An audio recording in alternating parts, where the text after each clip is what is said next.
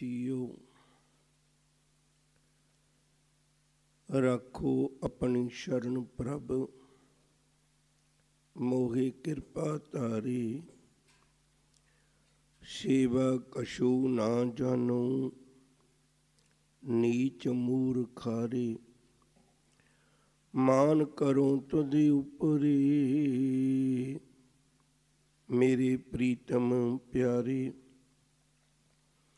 ਹਮ ਅਪਰਾਧੀ ਸਦ ਭੂਲ ਤੇ, ਤੁਮ ਬਖਸ਼ਣ ਹਾਰੇ।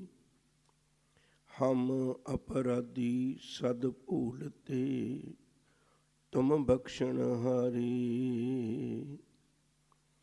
ਸਤਨਾਮ ਵਾਹਿਗੁਰੂ ਸਾਹਿਬ ਜੀਓ, ਗਾਵੇ ਕੋ ਤਾਣ ਹੋਵੇ ਕਿਸੈ ਤਾਣ।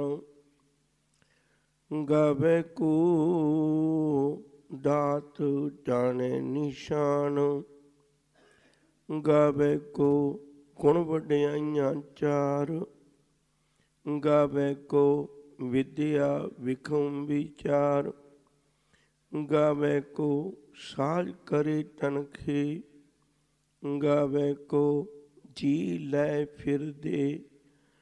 ਗਾਵੇ ਕੋ ਜਾਪੈ ਜਿਸੈ ਦੂਰ ਗਾਵੇ ਕੋ ਵੇਖੈ ਹਾਦਰਾ ਹਦੂਰ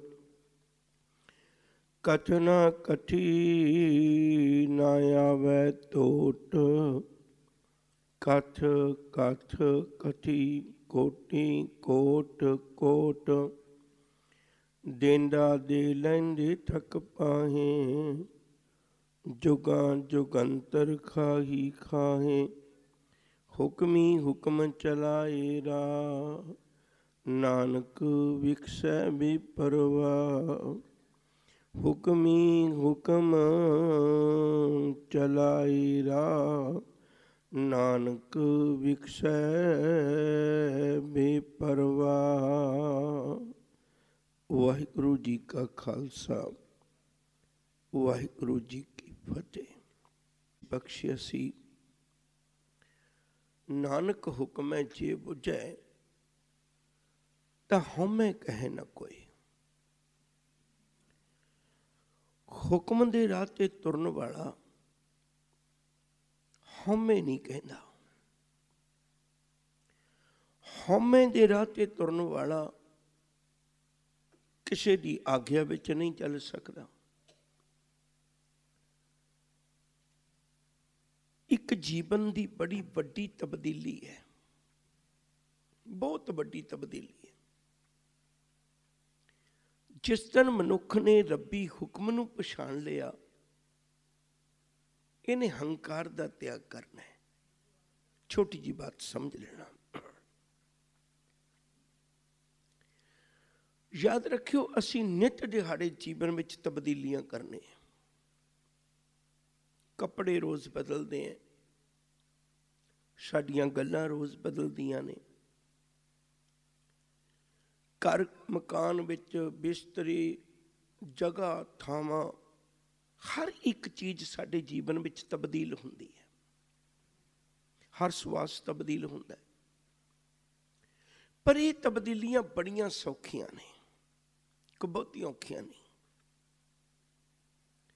ਅਸੀਂ ਆਪਣੇ ਜੀਵਨ ਦੀਆਂ ਬਾਕੀ ਸਾਰੀਆਂ ਤਬਦੀਲੀਆਂ ਬੜੀਆਂ ਸੌਖੀਆਂ ਕਰ ਲੈਨੇ ਇੱਕ ਤਬਦੀਲੀ ਬਹੁਤ ਔਖੀ ਹੁੰਦੀ ਹੈ।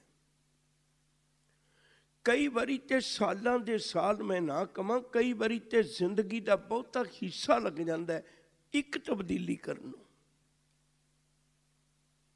ਉਹ ਤਬਦੀਲੀ ਗੁਰੂ ਕਿਰਪਾ ਨਾਲ ਹੋਣੀ ਹੈ। ਤਾਂ ਗੁਰਪ੍ਰਸਾਦ ਦੀ ਨਾਲ ਹਰ ਵਕਤ ਲੋੜ ਪੈਣੀ ਹੈ। ਉਹ ਤਬਦੀਲੀ ਹੈ ਜੀਵਨ ਦੇ ਅੰਦਰ। ਮਨੁੱਖ ਮੈਂ ਕਹਿਣੀ ਛੱਡ ਕੇ ਤੂੰ ਕਹਿਣ ਲੱਗ ਜਾਏ। ਆ ਤਬਦੀਲੀ ਬਹੁਤ ਔਖੀ ਹੁੰਦੀ ਹੈ। ਮਨੁੱਖ ਮੇਰਾ ਕਹਿਣਾ ਛੱਡ ਕੇ ਤੇਰਾ ਕਹਿਣ ਲੱਗ ਜਾਏ, ਇਹ ਤਬਦੀਲੀ ਬਹੁਤ ਔਖੀ ਹੁੰਦੀ ਹੈ। ਮਨੁੱਖ ਚੀਜ਼ਾਂ ਬਦਲ ਲਏਗਾ। ਇੱਥੋਂ ਤੱਕ ਕੋਈ ਨਿੱਜੀ ਪ੍ਰਾਪਰਟੀ ਜਾਂ ਧਨ ਮਾਲ ਪਦਾਰਥ ਦੇਖ ਕੇ ਉਹਨੂੰ ਕਹਿੰਦਾ ਹੋਵੇਗਾ ਮੇਰਾ ਧਰਮ ਦੀ ਦੁਨੀਆ ਚ ਆ ਕੇ ਵੀ ਬੰਦਾ ਇਹ ਕਹਿਣ ਲੱਗ ਪੈਂਦਾ, ਮੇਰਾ ਪੂਜਾ ਪਾਠ ਇਹ ਮੇਰਾ ਧਰਮ ਇਹ ਮੇਰਾ ਰੱਬ ਇਹ ਮੇਰਾ ਗੁਰੂ ਇਹ ਮੇਰਾ ਧਾਰਮਿਕ ਸਥਾਨ ਇਹ ਮੇਰੇ ਧਾਰਮਿਕ ਨਿਸ਼ਾਨੀਆਂ ਇਹ ਜੋੜੇਗਾ ਆਪਣੇ ਨਾਲ ਹੀ, ਫਿਰ ਵੀ ਵੱਖਰੇ ਮੈਂ। ਇਸ ਮੈਂ ਤੋਂ ਤੂੰ ਤੱਕ ਪਹੁੰਚਣਾ, ਮੇਰੇ ਤੋਂ ਤੇਰੇ ਤੱਕ ਪਹੁੰਚਣਾ, ਇਹ ਬੜੀ ਵੱਡੀ ਤਬਦੀਲੀ ਹੈ। ਇਹ ਬੜੀ ਔਖੀ ਆਉਂਦੀ ਹੈ। ਗੁਰੂ ਕਿਰਪਾ ਕਰੇ ਤੇ ਆ ਜਾਏ। ਹੁਣ ਜਿਹਨੇ ਗੁਰੂ ਦੇ ਹੁਕਮ ਨੂੰ ਬੁੱਝਿਆ, ਸੱਚ ਨੂੰ ਬੁੱਝਿਆ, ਗੁਰੂ ਨੇ ਉਹਦੀ ਜੀਵਨ ਵਿੱਚ ਤਬਦੀਲੀ ਲਿਆਂਦੀ। ਹਉਮੈ ਸ਼ਬਦ ਦਾ ਅਰਥ ਕੀ ਹੈ? ਦੋ ਸ਼ਬਦਾਂ ਦਾ ਮੇਲ ਹੈ। ਹਉ ਪਲੱਸ ਮੈਂ। ਹਉ ਦਾ ਅਰਥ ਵੀ ਮੈਂ ਹੈ, ਮੈਂ ਦਾ ਅਰਥ ਵੀ ਮੈਂ ਹੈ। ਜਿੱਥੇ ਮਨੁੱਖ ਹਰ ਇੱਕ ਥਾਂ ਦੇ ਉੱਤੇ ਆਪਣੇ ਆਪ ਨੂੰ ਅੱਗੇ ਰੱਖਦਾ ਹੈ ਇਹ ਹਉਮੈ ਦਾ ਨਿਸ਼ਾਨ ਹੈ।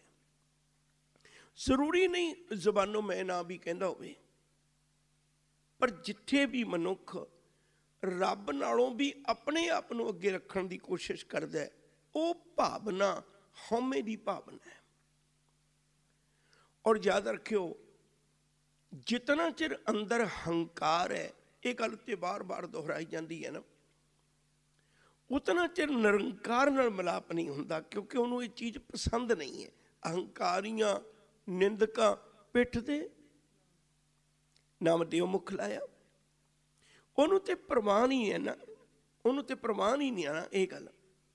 ਹਰ ਜੀਉ ਹੰਕਾਰ ਨਾ ਭਾਵਈ, ਉਹਨੂੰ ਇਹ ਚੰਗਾ ਉਹਨੂੰ ਵੀ ਨਹੀਂ ਲੱਗਦਾ, ਉਹਨੂੰ ਵੀ ਨਹੀਂ ਪਾਉਂਦਾ ਹੁਣ ਮਨੁੱਖ ਭਰਿਆ ਹੋਇਆ ਹੰਕਾਰ ਨਾਲ, ਸਾਈਂਦਰ ਕਬੂਲ ਕਿਵੇਂ ਹੋਵੇ? ਇਸ ਗੁਰਮੁਖ ਕਾਦੀ ਰਾਹ ਤੇ ਤੁਰਨ ਵਾਲੇ ਨੂੰ, ਇਸ ਰੱਬੀ ਮਲਾਪ ਦੀ ਲਾਲਸਾ ਲੈ ਕੇ ਤੁਰਨ ਵਾਲੇ ਨੂੰ ਗੁਰੂ ਨੇ ਇੱਕ ਬੜੀ ਕੀਮਤੀ ਬਾਤ ਸਮਝਾਈ। ਪੁੱਤ ਵੇ ਤੇਰੇ ਕੱਪੜੇ ਸਾਦੇ ਹੋਏ, ਪੁੱਤ ਵੇ ਤੇਰਾ ਜੀਵਨ ਸਾਦਾ ਹੋਇਆ, ਪੁੱਤ ਵੇ ਤੇਰੀਆਂ ਗੱਲਾਂ ਸਾਦੀਆਂ ਹੋਈਆਂ, ਪੁੱਤ ਵੇ ਤੇਰਾ ਰਹਿਣ ਸਹਿਣ ਸਾਦਾ ਹੋਇਆ, ਤੇਰੇ ਕੋਲ ਬਹੁਤਾ ਪੂਜਾ ਪਾਠ ਬਿਨਾ ਹੋਇਆ ਰੱਬ ਤੈਨੂੰ ਤਦ ਵੀ ਪਿਆਰ ਕਰ ਲੇਗਾ, ਪਰ ਵੇਖੀ ਕਿਤੇ ਹੰਕਾਰ ਨਾਲ ਨਾ ਲੈ ਕੇ ਜਾਈ। ਫਿਰ ਮਲਾਪ ਨਹੀਂ ਹੋਣਾ, ਹੰਕਾਰ ਨਾਲ ਨਾ ਲੈ ਕੇ ਜਾਈ। ਹੁਣ ਜਿਹਨੇ ਹੁਕਮ ਨੂੰ ਬੁੱਝ ਲਿਆ ਨਾ, ਉਹ ਮੈਂ ਕਹਿਣਾ ਛੱਡ ਕੇ ਤੇਰਾ ਕਹਿਣਾ ਸਿੱਖ ਗਿਆ, ਮੈਂ ਕਹਿਣੀ ਛੱਡ ਕੇ ਤੂੰ ਕਹਿਣਾ ਸਿੱਖ ਗਿਆ। ਹੁਣ ਇਸ ਪੌੜੀ 'ਚ ਉਹਦਾ ਜ਼ਿਕਰ ਹੈ। ਗਾਵੇ ਕੋ ਤਾਣ, ਖੋਵੇ ਕਿਸੇ ਤਾਣ। ਹੁਣ ਤੇ ਆਪਾਂ ਕਹਿੰਦੇ ਵੀ ਮੈਂ ਪਾਠ ਕੀਤਾ। ਫਿਰ ਕਹਿੰਦਾ ਦਾਤਿਆ ਤੇਰਾ ਤਾਣ ਨਾ ਮਿਲਦਾ ਤੇ ਮੈਂ ਗਾਉਂਦਾ ਕਿਵੇਂ? ਗਾਇਆ ਤਾਂ ਤੇਰੇ ਜ਼ੋਰ ਨਾਲ ਹੈ ਨਾ।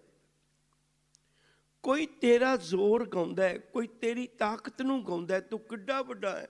ਸਿੰਘਾਂ ਬਾਜਾਂ, ਚਰਗਾ, ਕੁਈਆਂ, ਇਹਨਾਂ ਖਵਾਲੇ ਘਾ ਘਾ ਖਾਣ ਤੇ ਮਾਸ ਖਵਾਲੇ, ਇਹ ਚਲਾਏ ਰਾ ਨਦੀਆਂ ਵਿੱਚ ਟਿੱਬੇ ਦਿਖਾਲੇ, ਥਲੀ ਕਰੇ ਅਸਕਾ, ਕੀੜਾ ਥਾਪ ਦੇਹੇ, ਪਾਤਸ਼ਾਹੀ ਲਸ਼ਕਰ ਕਰੇ ਸਵਾ ਤੇਰੀ ਕਿੱਡੀ ਵੱਡੀ ਜ਼ੋਰ ਹੈ। ਕਿੱਡੀ ਵੱਡੀ ਤੇਰੀ ਤਾਕਤ ਹੈ। ਪਰ ਮੇਰੇ ਮਾਲਕ ਜੀ, ਇਹ ਤਾਕਤ ਤੇਰੀ ਉਹੀਓ ਮਨੁੱਖ ਕਹਿੰਦਾ ਹੈ, ਜਿਹਨੂੰ ਤੂੰ ਖੁਦ ਨੂੰ ਤਾਕਤ ਬਖਸ਼ਦਾ ਹੈ, ਜਿਹਨੂੰ ਤੂੰ ਜ਼ੋਰ ਬਖਸ਼ਦਾ ਹੈ। ਮੈਂ ਆਪਣੇ ਜ਼ੋਰ ਨਾਲ ਨਹੀਂ ਗਾ ਸਕਦਾ। ਮੇਰੇ ਕੋਲ ਕੋਈ ਜ਼ੋਰ ਨਹੀਂ ਹੈ, ਮੇਰੇ ਕੋਲ ਕੋਈ ਤਾਕਤ ਨਹੀਂ, ਮੇਰੇ ਕੋਲ ਕੋਈ ਇਹੋ ਜਿਹੀ ਸਮਰੱਥਾ ਨਹੀਂ। ਹੁਣ ਜਦੋਂ ਕਿਸੇ ਦੇ ਜ਼ੋਰ ਨਾਲ ਆਪਾਂ ਗਾਈਏ, ਫਿਰ ਇਹ ਕਿਵੇਂ ਕਹਿ ਸਕਨੇ ਵੀ ਮੈਂ ਗਾਇਆ? ਇੱਥੇ ਹੀ ਹੰਕਾਰ ਖਤਮ ਹੋ ਜਾਣਾ ਹੈ। ਇੱਥੇ ਹੀ ਹੰਕਾਰ ਖਤਮ ਹੋ ਜਾਣਾ। ਪਿਆਰ ਵਾਲਿਓ, ਕਿਤੇ ਸਾਡਾ ਦਿਲ ਮੰਨ ਜਾਏ, ਮਨ ਮੰਨ ਜਾਏ। ਮਾਲਕ ਜੀ, ਤੁਸੀਂ ਕਿਰਪਾ ਕੀਤੀ ਹੈ। ਆਪ ਗਵਾਉਂਦੇ ਹੋ ਜਿਹਦੇ ਕੋਲੋਂ ਉਹੀ ਤੁਹਾਡੇ ਗੁਣ ਗਾ ਸਕਦਾ ਹੈ। ਜਿਹਦੇ ਉੱਤੇ ਤੁਸੀਂ ਮਿਹਰ ਪ੍ਰਿਆਤ ਰੱਖਦੇ ਹੋ, ਉਹੀਓ ਤੁਹਾਡੇ ਰੱਬੀ ਰਾਹ ਤੇ ਤੁਰ ਸਕਦਾ ਆਪ ਮਿਹਰ ਕਰਕੇ ਇਸ ਰਾਹ ਤੇ ਤੁਰਦੇ ਹੋ। ਸੰਗਤ ਵਿੱਚ ਵੀ ਆਇਆ, ਇਹ ਮਨ ਵਿੱਚ ਭਾਵਨਾ ਹੋਵੇ, ਸਾਧ ਸੰਗ ਜੋ ਤੁਮੇ ਮਿਲਾਇਓ ਤੋ ਸੁਣੀ ਤੁਮਾਰੀ ਬਾਣੀ। ਅਨੰਦ ਭਇਆ ਪੇਖਤ ਹੀ ਨਾਨਕ, ਪ੍ਰਤਾਪ ਪੁਰਖ ਨਿਰਵਾਣੀ ਆਪ ਜਪਾਏ ਜਪੈ ਸੋ ਨਾਉ ਆਪ ਗਵਾਏ ਸੋ ਹਰ ਗੁਣ ਗਾਓ ਇੱਥੇ ਪਕੜ ਖਤਮ ਹੋ ਗਈ ਗਾਵੇ ਕੋ ਤਾਣ ਖੋਵੇ ਕਿਸੇ ਤਾਣ ਜਿਨ ਤੂੰ ਆਪ ਜ਼ੋਰ ਬਖਸ਼ਦਾ ਤਾਕਤ ਬਖਸ਼ਦਾ ਸਮਰੱਥਾ ਬਖਸ਼ਦਾ ਉਹ ਤੇਰੇ ਇਸ ਗੁ- ਗੁਣਾਂ ਨੂੰ ਗਾਉਂਦਾ ਹੈ ਗਾਵੇ ਕੋ ਦਾਤ ਜਾਣੇ ਨਿਸ਼ਾਨ ਜਿਹੜੀ ਹਰ ਚੀਜ਼ ਇਹਨੂੰ ਆਪਣੀ ਲੱਗਦੀ ਸੀ ਨਾ ਹੁਣ ਤਬਦੀਲ ਹੋ ਗਈ। ਤਬਦੀਲੀ ਵੀ ਬੜੀ ਵੱਡੀ ਆਈ ਹੈ। ਹੁਣ ਇਹ ਨਹੀਂ ਵੀ ਇਹ ਰੱਬ ਦੀ ਲੱਗਣ ਲੱਗੀ ਨਹੀਂ। ਹੁਣ ਇੱਕ ਹੋਰ ਗੱਲ ਪ੍ਰਗਟ ਹੋ ਗਈ। ਕਹਿਣ ਲੱਗੇ, ਰੱਬਾ, ਇਹ ਕੱਲੀ ਤੇਰੀਆਂ ਹੀ ਦਿੱਤਾਂ ਨਹੀਂ, ਬਲਕਿ ਤੂੰ ਮੈਨੂੰ ਪਿਆਰ ਕਰਕੇ ਦਿੱਤੀਆਂ ਨੇ। ਤੂੰ ਮੈਨੂੰ ਪਿਆਰ ਕਰਦਾ, ਮੈਨੂੰ ਤਾਂ ਦਿੱਤੀਆਂ ਨੇ। ਬੜੀ ਵੱਡੀ ਕਹਾਣੀ ਇਹਦੇ ਵਿੱਚ। ਇਹ ਨਹੀਂ ਵੀ ਇਹ ਕਿਸੇ ਮੇਰੀ ਅਕਲ ਕਰਕੇ, ਮੇਰੀ ਸਮਰੱਥਾ ਕਰਕੇ, ਮੇਰੇ ਪਾਠ ਕਰਕੇ, ਮੇਰੀ ਬੰਦਗੀ ਕਰਕੇ, ਮੇਰੇ ਧਰਮ ਦੇ ਰਾਹ ਤੇ ਤੁਰਨ ਕਰਕੇ ਤੂੰ ਮੈਨੂੰ ਦਿੱਤੀ। ਨਹੀਂ ਨਹੀਂ। ਇਹ ਤਾਂ ਨਿਰੋਲ ਤੇਰਾ ਪਿਆਰ ਹੈ। ਜਦੋਂ ਵੀ ਮਾਂ-ਬਾਪ ਆਪਣੇ ਬੱਚੇ ਨੂੰ ਕੋਈ ਚੀਜ਼ ਲੈ ਕੇ ਦਿੰਦੇ ਨੇ, ਬੱਚੇ ਦਾ ਹਾਲੇ ਮਾਂ-ਬਾਪਾਂ ਲਈ ਕੋਈ ਪਰਉਪਕਾਰ ਨਹੀਂ ਹੈ। ਉਹਨੇ ਕੁਝ ਨਹੀਂ ਕੀਤਾ।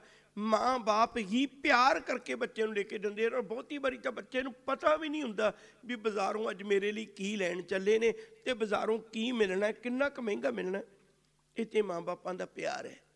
ਵਾਹਿਗੁਰੂ ਜੀ, ਜੋ ਕੁਝ ਤੂੰ ਮੈਨੂੰ ਦਿੱਤਾ ਹੈ ਨਾ, ਮੈਨੂੰ ਤਾਂ ਹੁਣੀ ਉਹ ਪ੍ਰਤੀਤ ਹੁੰਦਾ ਤੇਰੇ ਪਿਆਰ ਦੀਆਂ ਨਿਸ਼ਾਨੀਆਂ ਨੇ। ਔਰ ਆ ਗੁਰਮਤ ਦਾ ਰਾਹ ਜਿਹੜਾ ਹੈ, ਇਹ ਬੜਾ ਨਿਵੇਕਲਾ ਰਾਹ ਹੈ। ਜਿਹੜਾ ਇਹ ਰਾਹ ਹੈ ਨਾ ਗੁਰਮਤ ਦਾ, ਇਹ ਬੜਾ ਨਿਵੇਕਲਾ ਰਾਹ ਹੈ। ਹਰ ਚੀਜ਼ ਵਿੱਚੋਂ ਰੱਬ ਦਿਸੇ, ਹਰ ਚੀਜ਼ ਵਿੱਚੋਂ ਰੱਬ ਦਾ ਪਿਆਰ ਦਿਸੇ, ਹਰ ਚੀਜ਼ ਵਿੱਚੋਂ ਰੱਬ ਦੀ ਨਿਸ਼ਾਨੀ ਦਿਸੇ, ਛੋਟੀ ਜਿਹੀ ਬੇਨਤੀ ਕਰਦੇ ਹਾਂ। ਤੁਸੀਂ ਕਦੇ ਦੇਖੋ, ਮੰਨ ਲਓ ਕਿਸੇ ਬੱਚੇ ਦਾ ਬਰਥਡੇ ਹੋਵੇ, ਉਹਦੇ ਮਾਤਾ ਪਿਤਾ ਨੇ ਕੋਈ ਚੀਜ਼ ਉਹਨੂੰ ਲਿਆ ਕੇ ਦਿੱਤੀ ਹੋਵੇ, ਤੇ ਉਹ ਕਿਤੇ ਅਚਾਨਕ ਗਵਾਚ ਜਾਏ। ਉਹਦੇ ਨਾਲ ਦੇ ਸੰਗੀ ਸਾਥੀ ਸਾਰੇ ਹੀ ਉਹਨੂੰ ਮਨਾਉਂਦੇ ਨੇ ਵੀ ਦਿਲ ਛੋਟਾ ਨਾ ਕਰ, ਉਦਾਸ ਨਾ ਹੋ। ਬਿਲਕੁਲ ਇਸੇ ਮਾਰਕ ਦੀ, ਇਸੇ ਕੰਪਨੀ ਦੀ, ਉਸੇ ਤਰ੍ਹਾਂ ਦੀ ਚੀਜ਼ ਤੈਨੂੰ ਦੁਬਾਰੇ ਲਿਆ ਕੇ ਦੇ ਦਿੰਦੇ ਉਹ ਕਹਿੰਦਾ, ਮਾਫ ਕਰਿਓ, ਭਾਵੇਂ ਲੱਖਾਂ ਲਿਆ ਦਿਓ। ਜਿਹੜੀ ਉਸ ਦਿਨ ਬਰਥਡੇ ਤੇ ਮੈਨੂੰ ਮਾਂ-ਬਾਪ ਨੇ ਦਿੱਤੀ ਸੀ ਨਾ, ਦਾਤ ਤੇ ਮੁੜ ਕੇ ਨਹੀਂ ਮਿਲਣੀ। ਇਹ ਮੁੜ ਕੇ ਨਹੀਂ ਮਿਲਣੀ। ਤੁਸੀਂ ਚੀਜ਼ ਲਿਆ ਦਿਓਗੇ, ਪਰ ਉਹਦੇ ਵਿੱਚੋਂ ਮੁੜ ਕੇ ਮੇਰੀ ਮਾਂ ਨਹੀਂ ਨਾ ਦਿਸਣੀ। ਤੁਸੀਂ ਦਾਤ ਲਿਆ ਦਿਓਗੇ, ਬਾਜ਼ਾਰ ਤੋਂ ਉਸੇ ਤਰ੍ਹਾਂ ਦੀ ਖਰੀਦ ਕੇ ਲਿਆ ਦਿਓਗੇ। ਮੇਰਾ ਬਾਪ ਨਹੀਂ ਨਾ ਵਿੱਚੋਂ ਦਿਸਣਾ। ਪਿਆਰ ਵਾਲਿਓ, ਜਿਸ ਦਿਨ ਇਹ ਪਤਾ ਲੱਗ ਗਿਆ ਨਾ ਵੀ ਦਾਤਾਂ ਮੈਨੂੰ ਰੱਬ ਨੇ ਪਿਆਰ ਕਰਕੇ ਦਿੱਤੀਆਂ ਨੇ, ਫਿਰ ਉਹਨਾਂ ਚੀਜ਼ਾਂ ਵਿੱਚੋਂ ਮੈਨੂੰ ਰੱਬ ਦਿਸੇਗਾ। ਰੱਬ ਦਿਸੇਗਾ ਮੈਨੂੰ ਉਹਨਾਂ ਵਿੱਚੋਂ ਵੀ, ਮਾਲਕ ਜੀ, ਇਹ ਤਾਂ ਤੇਰੀਆਂ ਦਿੱਤੀਆਂ ਹੋਈਆਂ ਦਾਤਾਂ ਨੇ, ਮੈਨੂੰ ਇਉਂ ਦਿਸਦਾ ਹੈ। ਇਹ ਗਿਫਟ ਨਹੀਂ, ਇਹਦੇ ਵਿੱਚੋਂ ਮੈਨੂੰ ਦਾਤ ਦੇਣ ਵਾਲਾ ਦਿਸਦਾ ਹੈ। ਬਸ ਆ ਔਖਾ ਹੈ। ਸਾਨੂੰ ਦਾਤਾਂ ਵਿੱਚੋਂ ਦਾਤਾ ਦਿਸਣ ਲੱਗ ਜਾਏ। ਇੱਕ ਵਾਰ ਹੋਰ ਚੇਤੇ ਵਿੱਚ ਰੱਖਿਓ, ਅੱਗੇ ਜਾ ਜਾ ਕੇ ਜ਼ਿਕਰ ਵੀ ਆਉਣਗੇ ਸਾਰੇ। ਅੰਜਨ ਮਾਗੇ ਨਰੰਜਨ ਰਹਿਣ ਦਾ ਪੱਖ ਗੁਰਮਤ ਦੱਸਦੀ ਹੈ ਪਹਿਲਾਂ ਅੰਜਨ ਇਕੱਠਾ ਤੇ ਕਰਨਾ। ਸਾਰੀਆਂ ਦਾਤਾਂ ਜਿੰਨੀਆਂ ਨੇ, ਇਹ ਅੰਜਨ ਨੇ। ਅੰਜਨ ਮਤਲਬ ਕਾਲਕ, ਮੋਹ ਮਮਤਾ ਦੀ ਕਾਲਕ। ਇਹਨਾਂ ਅੰਜਨ ਵਿੱਚ ਰੱਬ ਦਾ ਨਾਮ ਲੈ ਕੇ ਨਰੰਜਨ ਰਹਿਣਾ ਹੈ। ਨਰੰਜਨ ਰਹਿਣ ਦਾ ਅਰਥ ਕੀ ਹੈ? ਭਈ ਇਹ ਤੇਰੀਆਂ ਨੇ, ਤੂੰ ਮੈਨੂੰ ਪਿਆਰ ਵਿੱਚ ਦਿੱਤੀਆਂ ਨੇ। ਮੈਨੂੰ ਦਾਤ ਨਹੀਂ ਦਿਸਦੀ, ਹੰਕਾਰ ਤੇ ਤਾਂ ਆਵੇ ਕਿ ਮੈਨੂੰ ਦਾਤ ਦਿਸੇ, ਦਾਤ ਦੱਸੇ ਮੇਰੀ ਕਾਰ ਕਿੱਡੀ ਕੀਮਤੀ ਹੈ, ਫਿਰ ਤੇ ਮੈਨੂੰ ਹੰਕਾਰ ਆਵੇ। ਮੈਨੂੰ ਦਿਸਦਾ ਹੀ ਇਹ ਹੈ, ਭਈ ਇਹ ਤੇ ਰੱਬ ਨੇ ਦਿੱਤੀ ਹੈ ਤੇ ਮੇਰੇ ਪਿਆਰੇ ਦੀ, ਪਿਆਰ ਦੀ ਨਿਸ਼ਾਨੀ ਹੈ, ਤੇ ਯਾਦ ਰੱਖਿਓ, ਫਿਰ ਹੰਕਾਰ ਨਹੀਂ, ਫਿਰ ਪਿਆਰ ਵੱਧ ਜਾਏਗਾ। ਜੀ ਕਰੇਗਾ ਮੈਨੂੰ ਸੰਭਾਲ ਸੰਭਾਲ ਰੱਖਾਂ। ਨਾ ਵੀ ਵਰਤੋਂ ਜੋਗੀ ਹੋਈ, ਤਾਂ ਵੀ ਸੰਭਾਲ ਕੇ ਰੱਖਾਂ। ਮੇਰੇ ਪਿਆਰੇ ਨੇ ਦਿੱਤੀ ਹੋਈ ਦਾਤ ਹੈ। ਆ ਤਬਦੀਲੀਆਂ ਗਾਵੇ ਕੋ ਦਾਤ ਜਾਣੇ ਨਿਸ਼ਾਨ, ਤੇਰੀ ਨਿਸ਼ਾਨੀ ਜਾਣ ਕੇ ਕਹਿੰਦਾ ਉਹਨੂੰ ਕੀ ਲੋੜ ਹੈ ਮਾਇਆ ਦੀ? ਉਹਨੂੰ ਕੀ ਲੋੜ ਹੈ ਭੋਰਿਆਂ 'ਚ ਬਣਨ ਦੀ? ਉਹਨੂੰ ਕੀ ਲੋੜ ਹੈ ਇਕਾਂਤ ਵਿੱਚ ਰਹਿਣ ਦੀ? ਉਹ ਤੇ ਕੁਦਰਤ ਨੂੰ ਦੇਖਦਾ ਹੋਇਆ ਉਹਦੇ ਵਿੱਚੋਂ ਕਾਦਰ ਨੂੰ ਲੱਭ ਰਿਹਾ ਹੈ। ਉਹ ਨਹੀਂ ਇਕਾਂਤ ਵਿੱਚ ਜਾਂਦਾ। ਗਾਵੇ ਕੋ ਦਾਤ ਜਾਣੇ ਨਿਸ਼ਾਨ, ਗਾਵੇ ਕੋ ਗੁਣ ਵਡਿਆਈਆਂ ਚਾਰ। ਮਾਲਕ ਜੀ, ਚਾਰ ਦਾ ਅਰਥ ਹੁੰਦਾ ਸੁੰਦਰ। ਕੋਈ ਤੇਰੀਆਂ ਸੁੰਦਰ ਵਡਿਆਈਆਂ ਨੂੰ ਗਾ ਰਿਹਾ ਕੋਈ ਤੇਰੀ ਉਪਮਾ ਕਰ ਰਿਹਾ ਤੇਰੀਆਂ ਇਤਨੀਆਂ ਵੱਡੀਆਂ ਵਡਿਆਈਆਂ। ਵੱਡੇ ਕੀਆਂ ਵਡਿਆਈਆਂ, ਕਿਛ ਕਹਿਣਾ ਕਹਿਣ ਨਾ ਜਾਏ। ਸੋ ਕਰਤਾ ਕਾਦਰ ਕਰੀਮ ਦੇ ਜੀਆਂ ਰਿਜ਼ਕ ਸੰਭਾਹੇ। ਸਾਈ ਕਾਰ ਕਮਾਵਣੀ ਤੁਰ ਛੋਡੀ ਤਿੰਨੇ ਪਾਏ, ਨਾਨਕ ਏਕੀ ਬਾਹਰੀ, ਹੋਰ ਦੂਜੀ ਨਹੀਂ ਜਾਏ। ਸੋ ਕਰੇ ਜੇ ਤਿਸੈ ਰਜਾਈ ਹੁਕਮ ਰਜਾਈ ਦਾ ਪਾਂਦੀ ਹੈ ਨਾ। ਕਿਤਨਾ ਪਿਆਰ ਵੱਧ ਗਿਆ, ਮੈਨੂੰ ਭਰੋਸਾ ਬਣ ਗਿਆ, ਤੂੰ ਹਮੇਸ਼ਾ ਚੰਗਾ ਹੀ ਕਰਨਾ। ਹੈ ਹੁਣ ਮੈਨੂੰ ਉਹ ਚੰਗਾ ਲੱਗਣ ਲੱਗ ਗਿਆ। ਧਰਮ ਦੀ ਤਬਦੀਲੀ ਦਾ ਅਰਥ ਹੈ ਜਿਤਨਾ ਚਿਰ ਮੇਰੀ ਅਤੇ ਮੈਂ ਹੈ ਉਹਨਾਂ ਚਿਰ ਮੈਂ ਇਹੋ ਹੀ ਸਲਾਹਾਂ ਦਿੰਦਾ ਵੀ ਆਹ ਕੰਮ ਮੇਰੀ ਮਰਜ਼ੀ ਦਾ ਕਰ। ਜਦੋਂ ਮੈਂ ਧਰਮੀ ਬਣ ਗਿਆ, ਉਹਦੀ ਨਿਸ਼ਾਨੀ ਇਹ ਹੈ, ਹੁਣ ਮੇਰਾ ਜੀ ਕਰਦਾ, ਰੱਬਾ ਤੂੰ ਆਪਣੀ ਮਰਜ਼ੀ ਦਾ ਕਰ, ਮੈਂ ਤੇਰੀ ਆਗਿਆ 'ਚ ਚੱਲਾਂ। ਮੈਨੂੰ ਆਨੰਦ ਇਸ ਗੱਲ ਦਾ। ਮੈਨੂੰ ਆਨੰਦ ਇਸ ਗੱਲ ਦਾ ਵੀ ਜੋ ਤੂੰ ਮਰਜ਼ੀ ਕਰ, ਮੈਨੂੰ ਤੇਰੀ ਰਜ਼ਾ ਵਿੱਚ ਤੁਰਨ ਦਾ ਆਨੰਦ ਆ ਗਿਆ। ਮੇਰਾ ਜੀ ਕਰਦਾ, ਮੈਂ ਤੇਰੇ ਦੱਸੇ ਰਾਹ ਤੇ ਤੁਰਾਂ। ਇਹ ਵੀ ਇੱਕ ਧਰਮ ਦੀ ਦੁਨੀਆ 'ਚ ਝਗੜਾ ਜਿਹਾ ਹੀ ਹੈ। ਹਮੇਸ਼ਾ ਬੰਦਾ ਚਾਹੁੰਦਾ ਹੈ, ਰੱਬ ਵੀ ਮੇਰੀ ਮਰਜ਼ੀ ਦਾ ਕਰੇ ਤੇ ਹੁਕਮ ਰਜਾਈ ਚੱਲਣਾ ਪੜ ਕੇ ਆਇਆ। ਫਿਰ ਜਿਹੜਾ ਬੰਦਾ ਧਰਮੀ ਹੈ ਨਾ, ਉਹ ਇੱਕ ਬੇਨਤੀ ਕਰਦਾ ਆਪੇ ਹਰ ਇੱਕ ਰੰਗ ਹੈ, ਆਪੇ ਬਹੁ ਰੰਗੀ, ਜੋ ਤਿਸ ਭਾਵੈ ਨਾਨਕਾ, ਸਾਈ ਗੱਲ ਚੰਗੀ। ਮੈਨੂੰ ਤੇ ਹੁਣ ਉਹ ਪਿਆਰਾ ਲੱਗਣ ਲੱਗ ਗਿਆ। ਇਹ ਵਡਿਆਈਆਂ ਨੇ। ਇਹ ਉਹਦੀਆਂ ਵਡਿਆਈਆਂ ਨੇ। ਗਾਵੇ ਕੋ ਗੁਣ ਵਡਿਆਈਆਂ ਚਾਰ, ਤੇਰੀਆਂ ਕਿੱਡੀਆਂ ਵੱਡੀਆਂ ਵਡਿਆਈਆਂ ਨੇ। ਗਾਵੇ ਕੋ ਵਿਦਿਆ ਵਿਖਮ ਵਿਚਾਰ। ਸ਼ਬਦ ਬੜੇ ਪਿਆਰੇ ਨੇ। ਰੱਬਾ ਕੋਈ ਤੈਨੂੰ ਗਾਉਂਦਾ ਹੈ। ਬੜੀ ਵਿਖਮ, ਬੜੀ ਮਹਿੰਗੀ, ਬੜੀ ਔਖੀ ਪੜ੍ਹਾਈ ਕਰ ਕਰਕੇ। ਤੇ ਜਦੋਂ ਤੈਨੂੰ ਗਾਉਂਦਾ ਹੈ ਨਾ, ਉਹ ਵਾਹ ਕਰ ਉੱਠਦਾ ਹੈ। ਔਰ ਹੈਰਾਨੀ ਦੀ ਗੱਲ ਇਹ ਹੈ ਵੀ ਪੜਿਆ ਲਿਖਿਆ ਬੰਦਾ ਵਿਚਾਰ ਕਰਦਾ ਹੈ, ਫੈਸਲਾ ਨਹੀਂ ਕਰਦਾ ਹੋਰ ਵੀ। ਛੋਟੀ ਜਿਹੀ ਉਦਾਹਰਨ ਦੇ ਦਿਆਂ। ਮੰਨ ਲਓ ਕਿਸੇ ਨੇ ਬਹੁਤ ਗਹਿਰੀ, ਗੰਭੀਰ ਪੜ੍ਹਾਈ ਕੀਤੀ। ਇਹ ਪੜ੍ਹਾਈਆਂ ਵਾਲੇ ਨਹੀਂ ਫੋਲਿਆ ਨਾ, ਆਖਰਕਾਰ ਸਮੁੰਦਰ ਦੀ ਕੁੱਖ ਨੂੰ ਫੋਲਿਆ। ਉਹ ਪੜਨ ਵਾਲਿਆਂ ਨਹੀਂ ਫੋਲਿਆ ਨਾ। ਆਕਾਸ਼ ਦੀਆਂ ਬੁੱਕਲਾਂ ਨੂੰ ਫੋਲਿਆ। ਉਹ ਪੜਨ ਵਾਲਿਆਂ ਨਹੀਂ ਫੋਲਿਆ ਨਾ ਵੀ ਆਕਾਸ਼ ਵਿੱਚ ਕੀ, ਕਿੰਨੇ ਚੰਦਰਮਾ, ਸੂਰਜ, ਤਾਰੇ, ਗੈਲੈਕਸੀਜ਼ ਨੇ। ਇਹ ਸਾਰੀਆਂ ਪੜਨ ਵਾਲਿਆਂ ਨਹੀਂ ਫੋਲੀਆਂ ਨੇ। ਉਹਨਾਂ ਨੇ ਧਰਤੀ ਦੇ ਕੋਲ ਵੀ ਖਜ਼ਾਨਿਆਂ ਨੂੰ ਖੋਲ ਖੋਲ ਵੇਖਿਆ। ਪਰ ਹੈਰਾਨੀ ਦੀ ਗੱਲ ਹੈ, ਉਹ ਭਾਵੇਂ ਧਰਤੀ ਨੂੰ ਫੋਲਣ ਲੱਗੇ, ਉਹ ਭਾਵੇਂ ਸਮੁੰਦਰਾਂ ਨੂੰ ਫੋਲਣ ਲੱਗੇ, ਉਹ ਭਾਵੇਂ ਆਕਾਸ਼ ਨੂੰ ਫੋਲਣ ਲੱਗੇ, ਹਰ ਇੱਕ ਚੀਜ਼ ਨੂੰ ਫੋਲ ਕੇ ਉਹ ਇੱਕੋ ਹੀ ਗੱਲ ਕਹਿ ਕੇ ਆ ਗਏ ਵੀ ਤੂੰ ਬੇਅੰਤ ਹੈ, ਤੇਰਾ ਅੰਤ ਨਹੀਂ ਪਾ ਸਕਦੇ। ਇਤਨੀਆਂ ਗਹਿਰੀਆਂ ਵਿਖਮ ਤੋਂ ਵਿਖਮ ਕਾਲਣਾ ਇਤਨੀਆਂ ਮਹਿੰਗੀਆਂ ਮਹਿੰਗੀਆਂ ਖੋਜਾਂ ਕਰਕੇ ਆਖਰ ਉਹ ਇੱਕ ਗੱਲ ਕਹਿ ਕੇ ਆ ਗਏ ਭਈ ਸੱਚੇ ਪਾਤਸ਼ਾਹ, ਤੂੰ ਇਸ ਤੋਂ ਵੀ ਬਹੁਤ ਵੱਡਾ ਬੇਅੰਤ ਹੈ।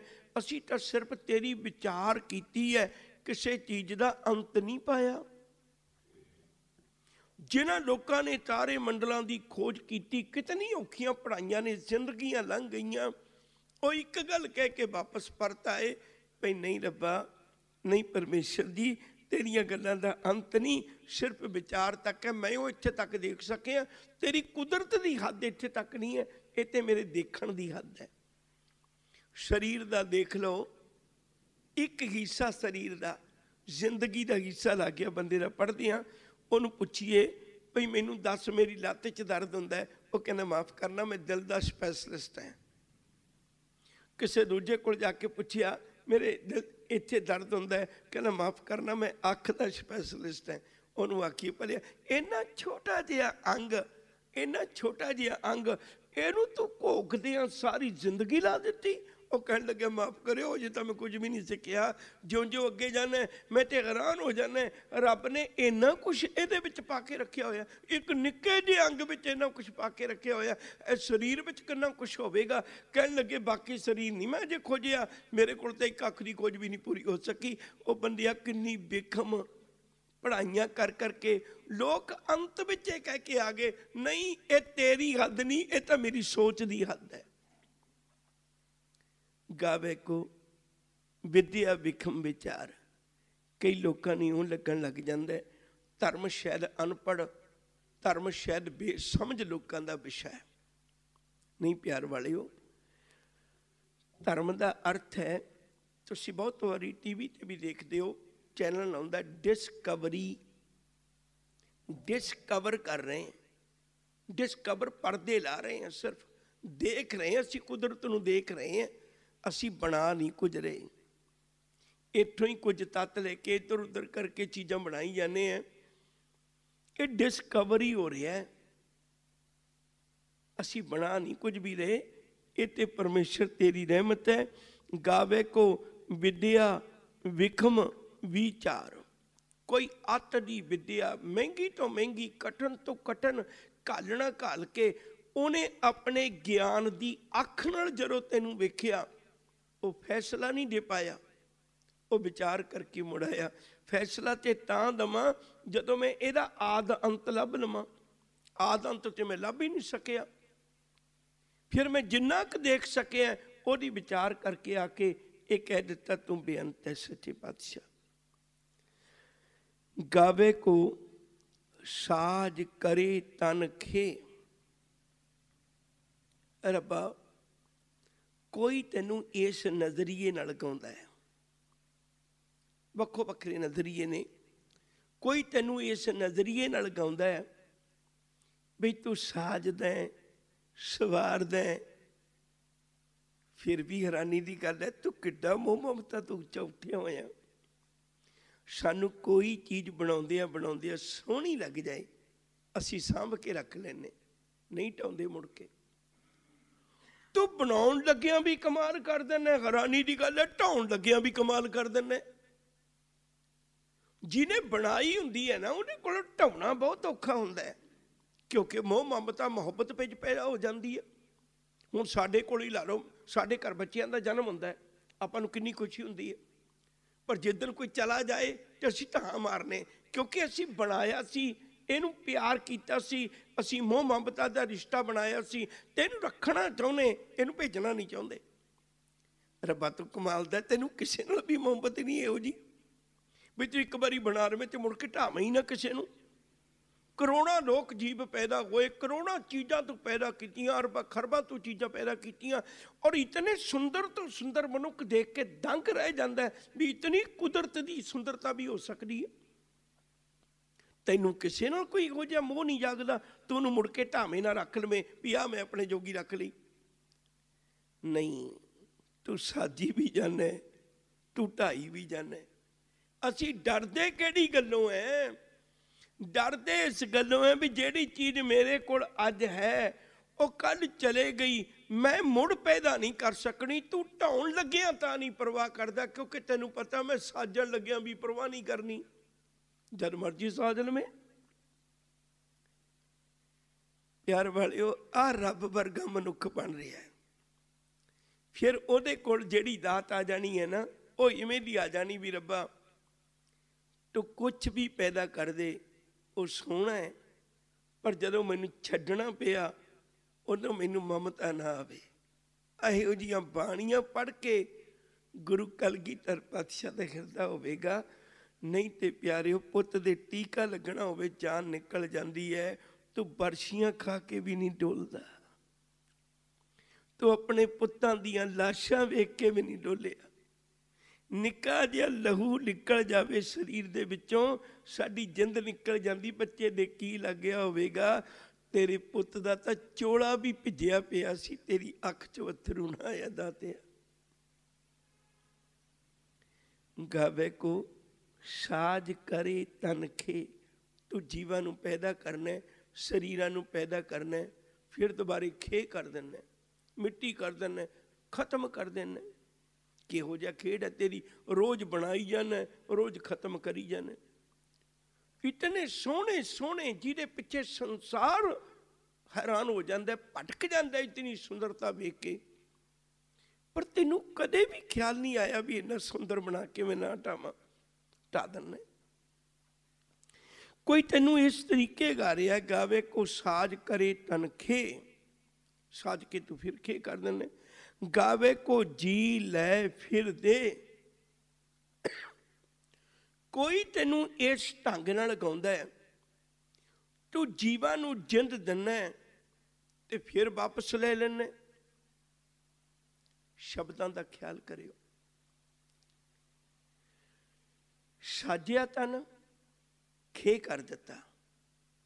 ਇੱਥੇ ਜਿਹੜੀ ਜਿੰਦ ਦਾ ਜ਼ਿਕਰ ਹੈ, ਉਹ ਸਾਜੀ ਨਹੀਂ, ਕਿਉਂਕਿ ਤਾਂ ਰੱਬ ਦੀ ਅੰਸ਼ ਹੈ ਤੇ ਮਰਦੀ ਨਹੀਂ। ਇਹ ਦਿੱਤੀ ਹੈ, ਫਿਰ ਵਾਪਸ ਲਈ ਹੈ। ਦੇਣੀ ਤੇ ਲੈਣੀ ਚੀਜ਼, ਇਹ ਨਾ ਜਨਮੇ, ਨਾ ਮਰਨੇ ਇਹ ਚ ਬੜਾ ਕੁਝ ਪਿਆ ਇਸ ਪੰਕਤੀ ਚ, ਆਪਣੇ ਕੋਲ ਇਹਨਾਂ ਵਕਤ ਨਹੀਂ ਹੁੰਦਾ। ਗਾਵੇ ਕੋ, ਜੀ ਲੈ ਫਿਰ ਦੇ। ਕਹਿਣ ਲੱਗੇ, ਤੂੰ ਜੀਵਾ ਨੂੰ ਜਿੰਦ ਦਿੰਦਾ ਵੀ ਹੈ ਜੀਵਾ ਕੋਲੋਂ ਜਿੰਦ ਲੈਂਦਾ ਵੀ ਹੈ ਜਿੱਤੇ ਗੱਲ ਤਨ ਦੀ ਆਈ, ਉੱਥੇ ਸਾਜਣ ਦਾ ਜ਼ਿਕਰ ਆਇਆ, ਤੇ ਮੁੜ ਉਹਨੂੰ ਖੇ ਕਰਨ ਦਾ ਜ਼ਿਕਰ ਆਇਆ। ਜਿੱਤੇ ਜਿੰਦ ਦਾ ਜ਼ਿਕਰ ਆਇਆ, ਉੱਥੇ ਨਾ ਸਾਜਣ ਦਾ ਜ਼ਿਕਰ ਆਇਆ, ਨਾ ਖੇ ਦਾ ਜ਼ਿਕਰ ਆਇਆ। ਇੱਕੋ ਹੀ ਲਾਈਨ, ਇੱਕੋ ਹੀ ਨਾਲ ਨਾਲ ਦੀਆਂ ਲਾਈਨਾਂ 'ਚ ਕਿੱਡਾ ਵੱਡਾ ਫਲਸਫਾ ਸਤਿਗੁਰੂ ਜੀ ਨੇ ਸਾਨੂੰ ਬਖਸ਼ਿਸ਼ ਕੀਤਾ। ਕਹਿੰਦੇ, ਤੂੰ ਜਿੰਦ ਦਿੰਦਾ ਵੀ ਹੈ ਜਿੰਦ ਲੈਂਦਾ ਵੀ ਹੈ ਉਹ ਜਿਹੜੀ ਜਾਨ ਹੈ ਨਾ ਜਿਹੜੀ ਅੰਦਰ ਪਾਵਰ ਹੈ, ਜਿਹੜੀ ਅੰਦਰ ਰਾਮ ਦੀ ਅੰਸ਼ ਹੈ, ਜਿਹੜੀ ਅੰਦਰ ਰਾਮ ਦੀ ਅੰਸ਼ ਹੈ, ਉਹਦਾ ਨਾ ਜਨਮ, ਨਾ ਮਰਨ ਉਹ ਤੇ ਅੰਦਰ ਹੈ, ਬਸ ਉਹਦੇ ਤੱਕ ਹੀ ਤਾਂ ਪਹੁੰਚ ਰਹੇ ਆਪਾਂ ਨੇ। ਗਾਵੇ ਕੋ ਜੀ ਲੈ ਫਿਰ ਦੇ, ਗਾਵੇ ਕੋ ਜਾਪੈ, ਜਿਸੈ ਦੂਰ। ਪਿੱਛੇ ਵੀ ਜ਼ਿਕਰ ਆਇਆ ਸੀ। ਬਾਣੀ ਪੜ੍ਹ ਕੇ ਇਹ ਗੱਲਾਂ ਮਹਿਸੂਸ ਹੋਵਣ ਹਰ ਚੀਜ਼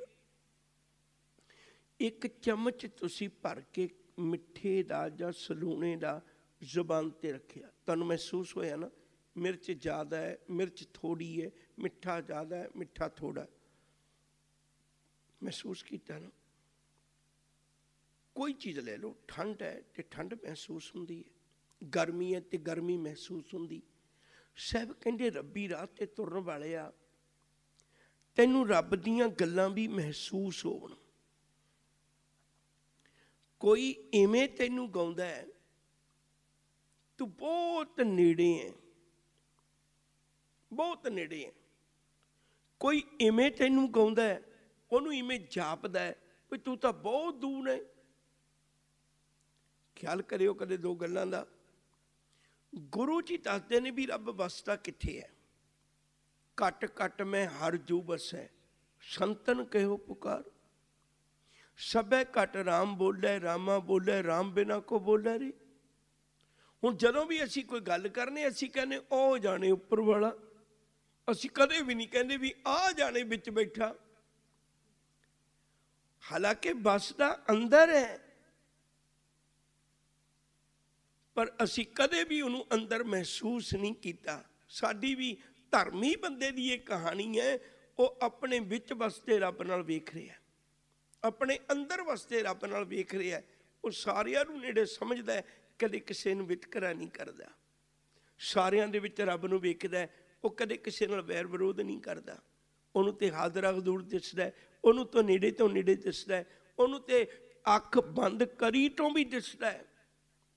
ਨੈਣਾਂ ਦੇ ਵਿੱਚ ਸੱਜਣ ਬਹਾਇਆ ਜਾਂ ਅੰਦਰ ਨੂੰ ਤਸਿਆ ਤਸਿਆ ਅੰਦਰ ਲੈ ਦੇ ਅੰਦਰ ਜਾਂ ਡੁਗਾਣੀ ਬਸਿਆ ਨੈਣ ਮੀ, ਉਹ ਜਿੱਧਰ ਵੀ ਮੈਂ ਝਾਤ ਮਾਰਨਾ, ਮੈਨੂੰ ਮੇਰਾ ਪਿਆਰਾ ਦਿਸਦਾ, ਅੱਖਾਂ ਦੇ ਰਾਹੀਂ ਮੈਂ ਉਹਨੂੰ ਦਿਲ ਵਿੱਚ ਵਸਾ ਲਿਆ। ਨੈਣਾਂ ਦੇ ਵਿੱਚ ਸੱਜਣ ਬਹਾਇਆ ਜਾਂ ਅੰਦਰ ਨੂੰ ਤਸਿਆ ਤਸਿਆ ਅੰਦਰ ਲੈ ਦੇ ਅੰਦਰ ਜਾਨ ਡੁਗਾਣੀ ਬਸਿਆ ਕਹਿਣ ਲੱਗਿਆ ਮੈਨੂੰ ਇੱਕ ਹਰ ਪਲ ਜਦੋਂ ਵੀ ਮੈਂ ਤੱਕਣਾ ਉਹ ਮੈਨੂੰ ਮੇਰੇ ਅੰਦਰੋਂ ਮੇਰਾ ਪਿਆਰਾ ਦਿਸਦਾ ਹੈ। ਨੈਣ ਮੀਟਿਆਂ ਅੰਦਰ ਜਿਸੇ, ਬਾਹਰ ਖੁੱਲਿਆਂ ਬਾਹਰ ਦਸੀਵੇ ਜਿਤ ਵੱਲ ਨਜ਼ਰ, ਉੱਤੇ ਵੱਲ ਸੱਜਣ ਬਾਣ ਤ੍ਰਿਣ, ਸੱਜਣ ਵਸਿਆ, ਹਰ ਥਾਂ ਤੇ ਵਸਿਆ।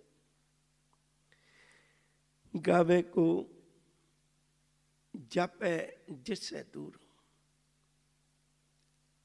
ਗੁਰਮਤ ਨੇ ਸਨੇਹਾ ਦਿੱਤਾ ਸਾਨੂੰ ਕਿਸੇ ਨੂੰ ਰੱਬ ਦੂਰ ਜਪਦਾ ਕਿਸੇ ਨੂੰ ਨੇੜੇ ਜਪਦਾ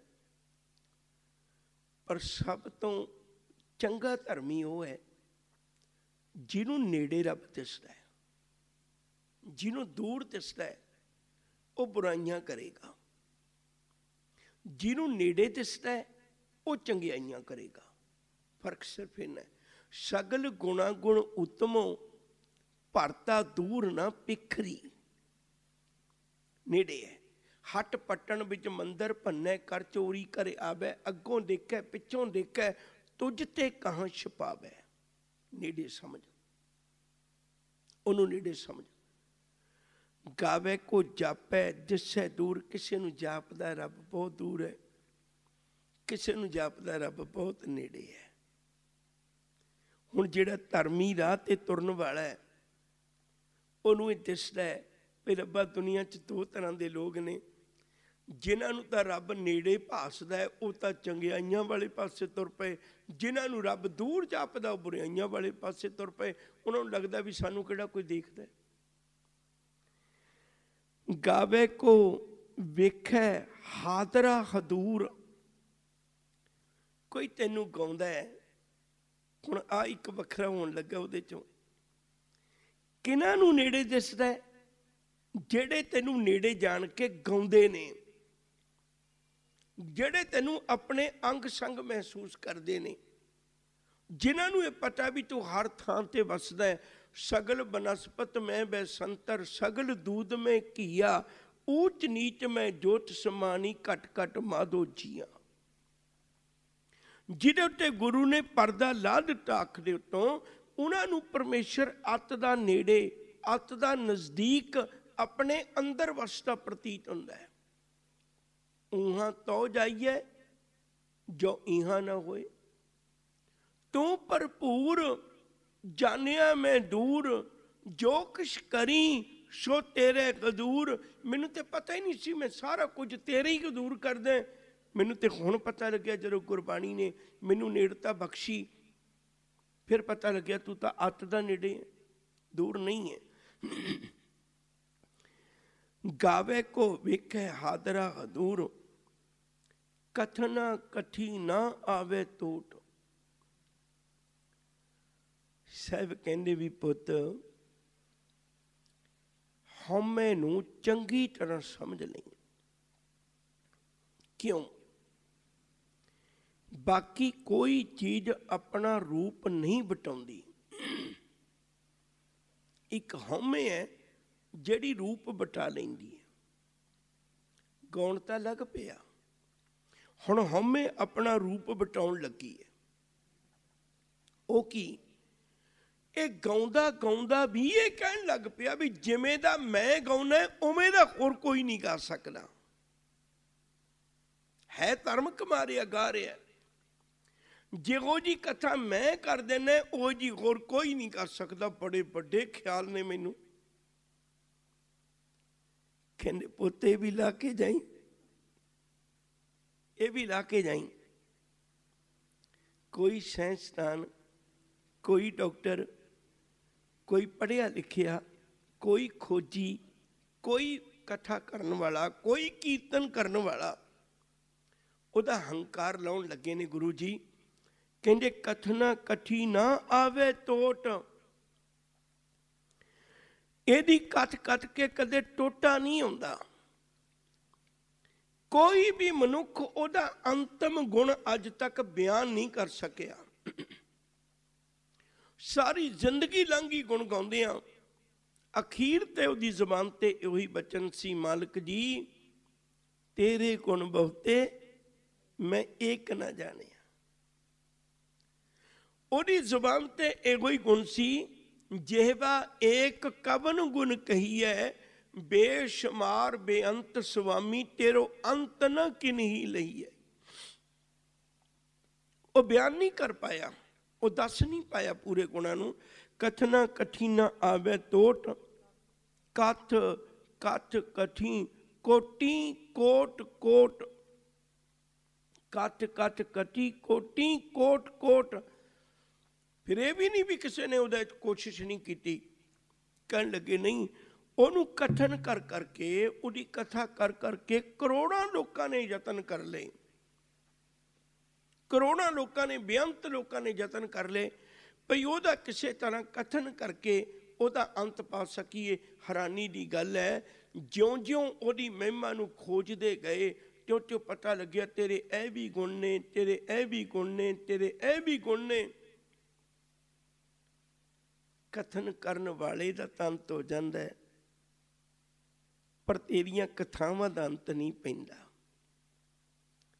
ਇੱਕ ਬਚਨ ਕਹਿ ਕੇ ਆਪਾਂ ਗੱਲ ਅੱਗੇ ਤੋਰੀਏ। ਆਖਣ ਵਾਲਾ ਕਿਆ ਵਿਚਾਰਾ? ਸਿਫਤੀ ਭਰੇ ਤੇਰੇ ਭੰਡਾਰਾ।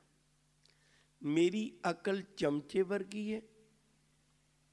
ਸਮੁੰਦਰ ਕਦੇ ਚਮਚਿਆਂ ਨਾਲ ਨਹੀਂ ਮਾਪੇ ਜਾਂਦੇ। ਪਹਾੜ ਕਦੇ ਹੱਥਾਂ ਦੀਆਂ ਤੱਕੜੀਆਂ ਨਾਲ ਨਹੀਂ ਤੋਲੇ ਜਾਂਦੇ। ਹਵਾ ਦੀਆਂ ਕਦੇ ਪੰਡਾਂ ਨਹੀਂ ਪਨੀਆਂ ਜਾਂਦੀਆਂ। ਭਲਿਆ ਤੂੰ ਉਸ ਬੇਅੰਤ ਨਿਰੰਕਾਰ ਨੂੰ ਆਪਣੀਆਂ ਅਕਲਾਂ ਦੇ ਤਰਾਜੂ ਵਿੱਚ ਪਾ ਕੇ ਨਾ ਤੋਲ। ਉਹਦੇ ਕਥਨ ਕਰਨ ਦਾ ਜਿੰਨਾ ਮਰਜ਼ੀ ਕਥਨ ਕਰ ਲੈ, ਉਹਦਾ ਅੰਤ ਨਹੀਂ ਆਉਣਾ। ਤੇਰੀ ਜ਼ਿੰਦਗੀ ਦਾ ਅੰਤ ਆ ਸਕਦਾ ਹੈ। ਕਥਨਾ ਕਥੀਨਾ ਆਵੇ ਟੋਟ ਕਥ ਕਥ ਕਥੀ ਕੋਟੀ, ਕੋਟ ਕੋਟ। ਹੁਣ ਆ ਇੱਕ ਬਚਨ ਸਤਿਗੁਰ ਜੀ ਨੇ ਸਾਨੂੰ ਉਦਾਹਰਨ ਦਿੱਤੀ। ਕਿਸੇ ਦੇ ਮਨ ਚ ਭੁਲੇਖਾ ਰਹਿ ਜਾਏ ਪਰ ਨਹੀਂ ਨਹੀਂ, ਮੈਂ ਕਥਨ ਕਰ ਸਕਣਾ ਕਹਿਣ ਲੱਗੇ, ਮੈਂ ਤੈਨੂੰ ਇੱਕ ਨਿੱਕਾ ਜਿਹਾ ਗੁਣ ਉਹਦੀ ਝਲਕ ਪਾਉਣਾ ਤੂੰ ਉੱਥੋਂ ਹੀ ਹਿਸਾਬ ਲਾ ਲਈ ਵੀ ਤੂੰ ਕਿੰਨਾ ਕੁ ਗਾ ਸਕਣਾ ਸਿਰਫ ਇੱਕ ਨਿੱਕੀ ਜਿਹੀ ਝਲਕ ਤੈਨੂੰ ਮੈਂ ਦਿਖਾਉਣਾ ਉਹ ਕੀ ਹੈ? ਦੇਂਦਾ ਦੇ ਲੈਂਦੇ ਠੱਕ ਪਾਹੇ। ਕਹਿੰਦੇ ਆ ਝਲਕ ਸਮਝ ਲੈ। ਦੁਨੀਆ ਦੇ ਅੰਦਰ ਇੱਕ ਅਸੂਲ ਹੈ। ਹਰ ਦਾਤ ਦੇਣ ਵਾਲਾ ਕਿਤੇ ਨਾ ਕਿਤੇ ਜਾ ਕੇ ਥੱਕ ਜਾਂਦਾ ਹੈ। ਪਰ ਮੰਗਤੇ ਉਹਦੇ ਦਰ ਤੇ ਫਿਰ ਵੀ ਖਲੋਤੇ ਹੁੰਦੇ ਨੇ। ਵੱਡੇ ਵੱਡੇ ਲੰਗਰ ਕਿਤਨਾ ਹੀ ਪ੍ਰਬੰਧ ਹੋਵੇ, ਉਹ ਕਹਿ ਦਿੰਦੇ ਨੇ, ਜੀ ਬਸ, ਹੁਣ ਤਾਂ ਸਮਾਪਤੀ ਹੋ ਗਈ ਜੀ। ਮੰਗਤੇ ਖਲੋਤੇ ਨੇ, ਪਰ ਉਹਨੂੰ ਕਹਿਣਾ ਪਿਆ ਵੀ ਹੁਣ ਤਾਂ ਮਾਫ ਕਰਿਓ, ਹੁਣ ਸਮਾਪਤੀ ਹੋ ਗਈ। ਕੋਈ ਰਾਜਾ, ਮਹਾਰਾਜਾ ਕਿਤਨਾ ਹੀ ਵੱਡਾ ਦਾਨੀ ਹੋਵੇ ਇੱਕ ਥਾਂ ਤੇ ਖਲੋ ਕੇ ਉਹ ਵੀ ਇਹ ਗੱਲ ਕਹਿ ਦੇਗਾ ਵੀ ਮਾਫ ਕਰਿਓ ਜੀ। ਹੁਣ ਹੋਰ ਨਹੀਂ ਮੈਂ ਕੁਝ ਦੇ ਸਕਦਾ। ਖਤਮ ਹੈ ਕਹਾਣੀ। ਸਾਰੇ ਸੰਸਾਰ ਵਿੱਚੋਂ ਇੱਕ ਦਾਤਾ ਉਹ ਲੱਭ ਕੇ ਦੇਖਣਾ ਔਖਾ ਹੈ, ਜਿਹੜਾ ਕਿਸੇ ਵੀ ਮੁਕਾਮ ਤੇ ਜਾ ਕੇ ਕਦੇ ਵੀ ਨਹੀਂ, ਦਾਤ ਮੇਰੇ ਕੋਲ ਹੈ, ਪਰ ਮੰਗਤੇ ਹੀ ਮੁੱਕ ਗਏ। ਸਭ ਕਹਿੰਦੇ ਆਈ ਗੁਣ ਦੇਖ ਲੈ। ਦੇਂਦਾ ਦੇ ਦੁਨੀਆ ਦੇ ਅੰਦਰ ਦਾਤੇ ਥੱਕਦੇ ਨੇ, ਭਿਖਾਰੀ ਖੜੇ ਹੁੰਦੇ ਨੇ, ਪਰ ਇਸ ਦਰ ਤੇ ਭਿਖਾਰੀ ਥੱਕ ਜਾਂਦੇ ਨੇ। ਦਾਤਾ ਅਜੇ ਵੀ ਕਹਿੰਦਾ, ਲੈ ਕੁਝ ਕੀ ਲੈਣਾ ਚਾਹੁੰਦਾ ਸਮਝ ਲੈਣਾ ਗੱਲ ਨੂੰ।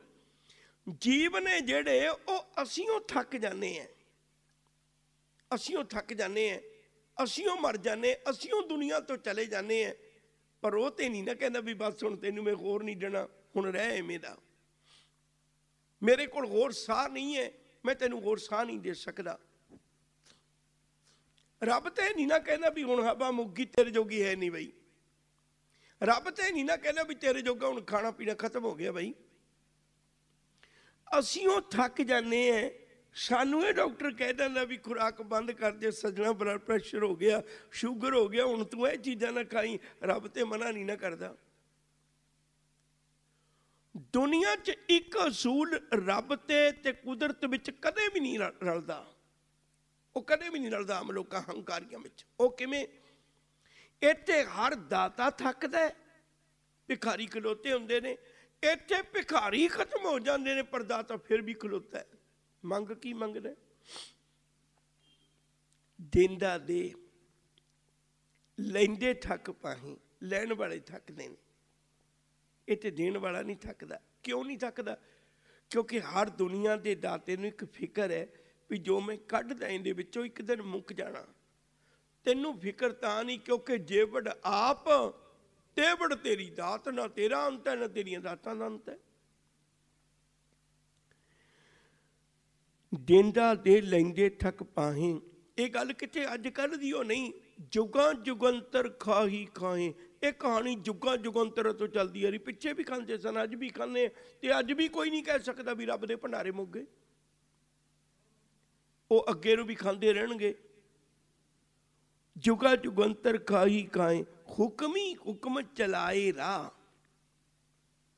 ਉਹ ਪਰਮੇਸ਼ਰ, ਇਤਨਾ ਕੁਝ ਕਰਕੇ ਸੰਸਾਰ ਨੂੰ ਆਪਣੇ ਹੁਕਮ ਦੇ ਰਾਹ ਤੇ ਚਲਾ ਰਿਹਾ ਹੈ। ਆਪ ਚੱਲ ਪਵੇ ਚੰਗਾ ਹੈ। ਨਾ ਚੰਗੇ ਤੇ ਦੁਖੀ ਹੋ ਕੇ ਚੱਲਣਾ ਪੈਂਦਾ ਚੱਲਣਾ ਪੈਂਦਾ ਹੀ ਹੈ। ਯਾਦ ਰੱਖਿਓ, ਸ਼ਬਦ ਕਹਿੰਦੇ ਆ, ਗੁਰਬਾਣੀ ਦਾ ਥੋੜੀ ਗੱਲ ਪਕੜ ਵਿੱਚ ਆ ਜਾਏ।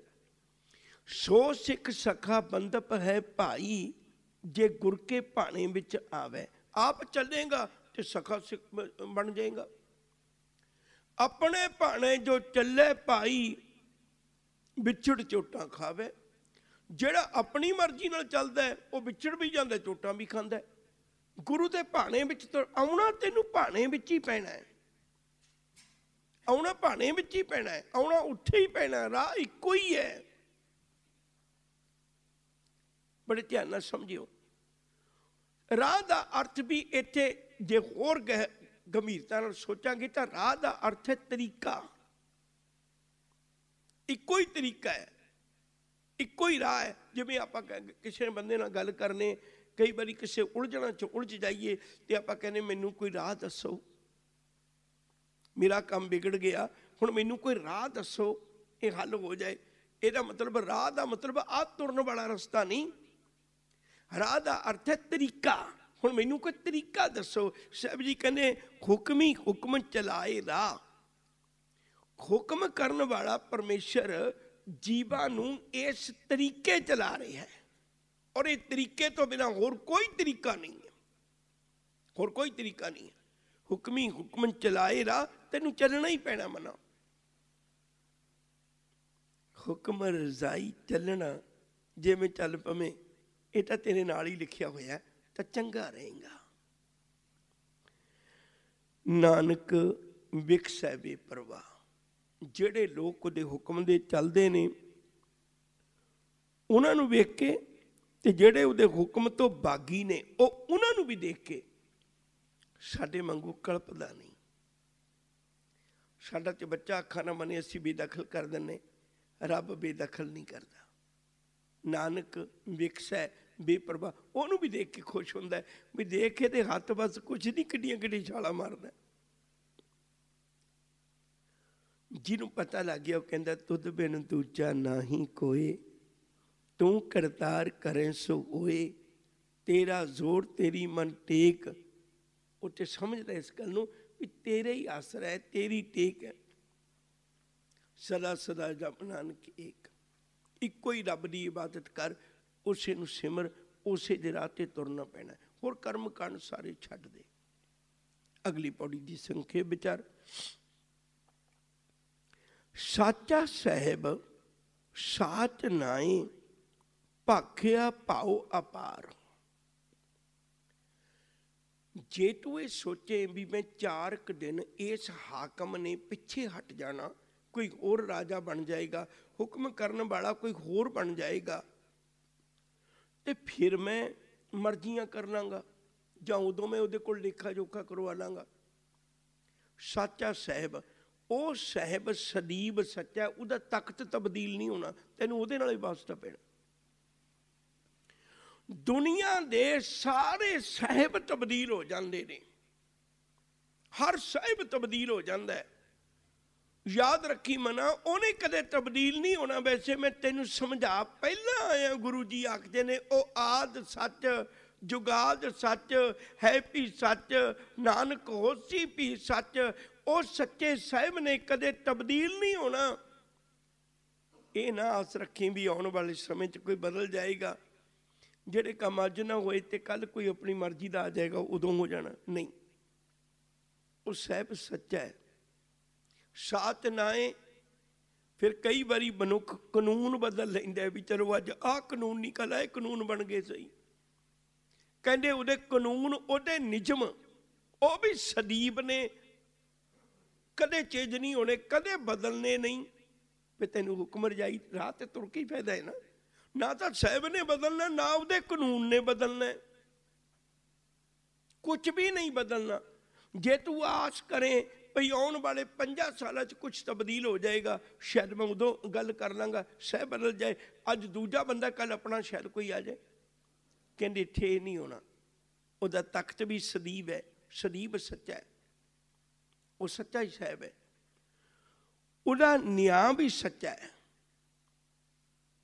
ਪਰ ਇੱਕ ਗੱਲ ਬੜੀ ਕਮਾਲ ਦੀ ਆਖੀ। ਕਹਿੰਦੇ, ਭਲਿਆ, ਜਿਹਨੇ ਸਦੀਬ ਤੱਕ ਤੇ ਰਹਿਣਾ, ਜਿਹਦਾ ਨਿਜਮ ਵੀ ਸਦੀਬ ਹੈ, ਪਰ ਇਹ ਗੱਲ ਚੇਤਾ ਰੱਖਿਓ ਦੀ ਬੋਲੀ ਬੜੀ ਪਿਆਰ ਵਾਲੀ ਹੈ। ਆਮ ਕਰਕੇ ਮਨੁੱਖ ਤਾਕਤ ਨੂੰ ਪਾ ਕੇ ਉਹਦੀ ਬੋਲੀ ਵਿੱਚ ਕੌੜਾ ਪਾਣਾ ਜਾਂਦਾ, ਕੁੜਤਣ ਆ ਜਾਂਦੀ ਹੈ। ਨਿੱਕਾ ਜਿਹਾ ਸਾਨੂੰ ਅਹੁਦਾ ਮਿਲ ਜਾਏ, ਸਾਡੀ ਬੋਲੀ ਵਿੱਚ ਉਹ ਅਹੁਦਾ ਬੋਲਣ ਲੱਗ ਪੈਂਦਾ ਹੰਕਾਰ ਸਾਡਾ ਝਲਕਣ ਲੱਗ ਪੈਂਦਾ ਹੈ। ਪਾਖਿਆ ਪਾਓ ਅਪਾਰ ਉਹਦੀ ਜਿਹੜੀ ਪਾਖਿਆ ਉਹਦੀ ਜਿਹੜੀ ਬੋਲੀ ਹੈ, ਉਹ ਜਿਹੜੀ ਭਾਸ਼ਾ ਵਿੱਚ ਗੱਲਾਂ ਕਰਦਾ ਹੈ, ਭਾਵ ਜਿਵੇਂ ਉਹ ਗੱਲਾਂ, ਉਹ ਪਿਆਰ ਹੀ ਹੈ। ਕਿਉਂਕਿ ਉਹਦਾ ਕਾਰਨ ਹੈ, ਉਹਦੀ ਜਿੰਨੀਆਂ ਵੀ ਚੀਜ਼ਾਂ ਨੇ ਨਾ, ਉਹ ਪਿਆਰ ਵਿੱਚ ਹੀ ਨੇ। ਬਸ ਆਈ ਸਿੱਖ ਨੇ ਸਮਝਣਾ ਜਦੋਂ ਗਾਵੇ ਕੋ ਦਾਤ ਜਾਣੇ ਨਿਸ਼ਾਨ, ਕਿਸੇ ਦੇ ਪਿਆਰ, ਮੁਹੱਬਤ ਦੀ ਗੱਲ ਪੈਦਾ ਹੋਗੀ ਯਾਦ ਰੱਖਿਓ, ਲੜਾਈ ਉਦੋਂ ਹੁੰਦੀ ਹੈ ਜਦੋਂ ਹੰਕਾਰ ਹੋਵੇ, ਹੰਕਾਰ ਤਕਰਾਰ ਬਣਦਾ ਹੈ। ਹੰਕਾਰ ਕੀ ਤਕਰਾਰ ਬਣਦਾ ਹੈ। ਮੇਰੀ ਤੁਸੀਂ ਨਹੀਂ ਮੰਨ ਕੇ ਰਾਜੀ, ਮੈਂ ਤੁਹਾਡੀ ਨਹੀਂ ਮੰਨ ਕੇ ਰਾਜੀ, ਤਕਰਾਰ ਹੈ।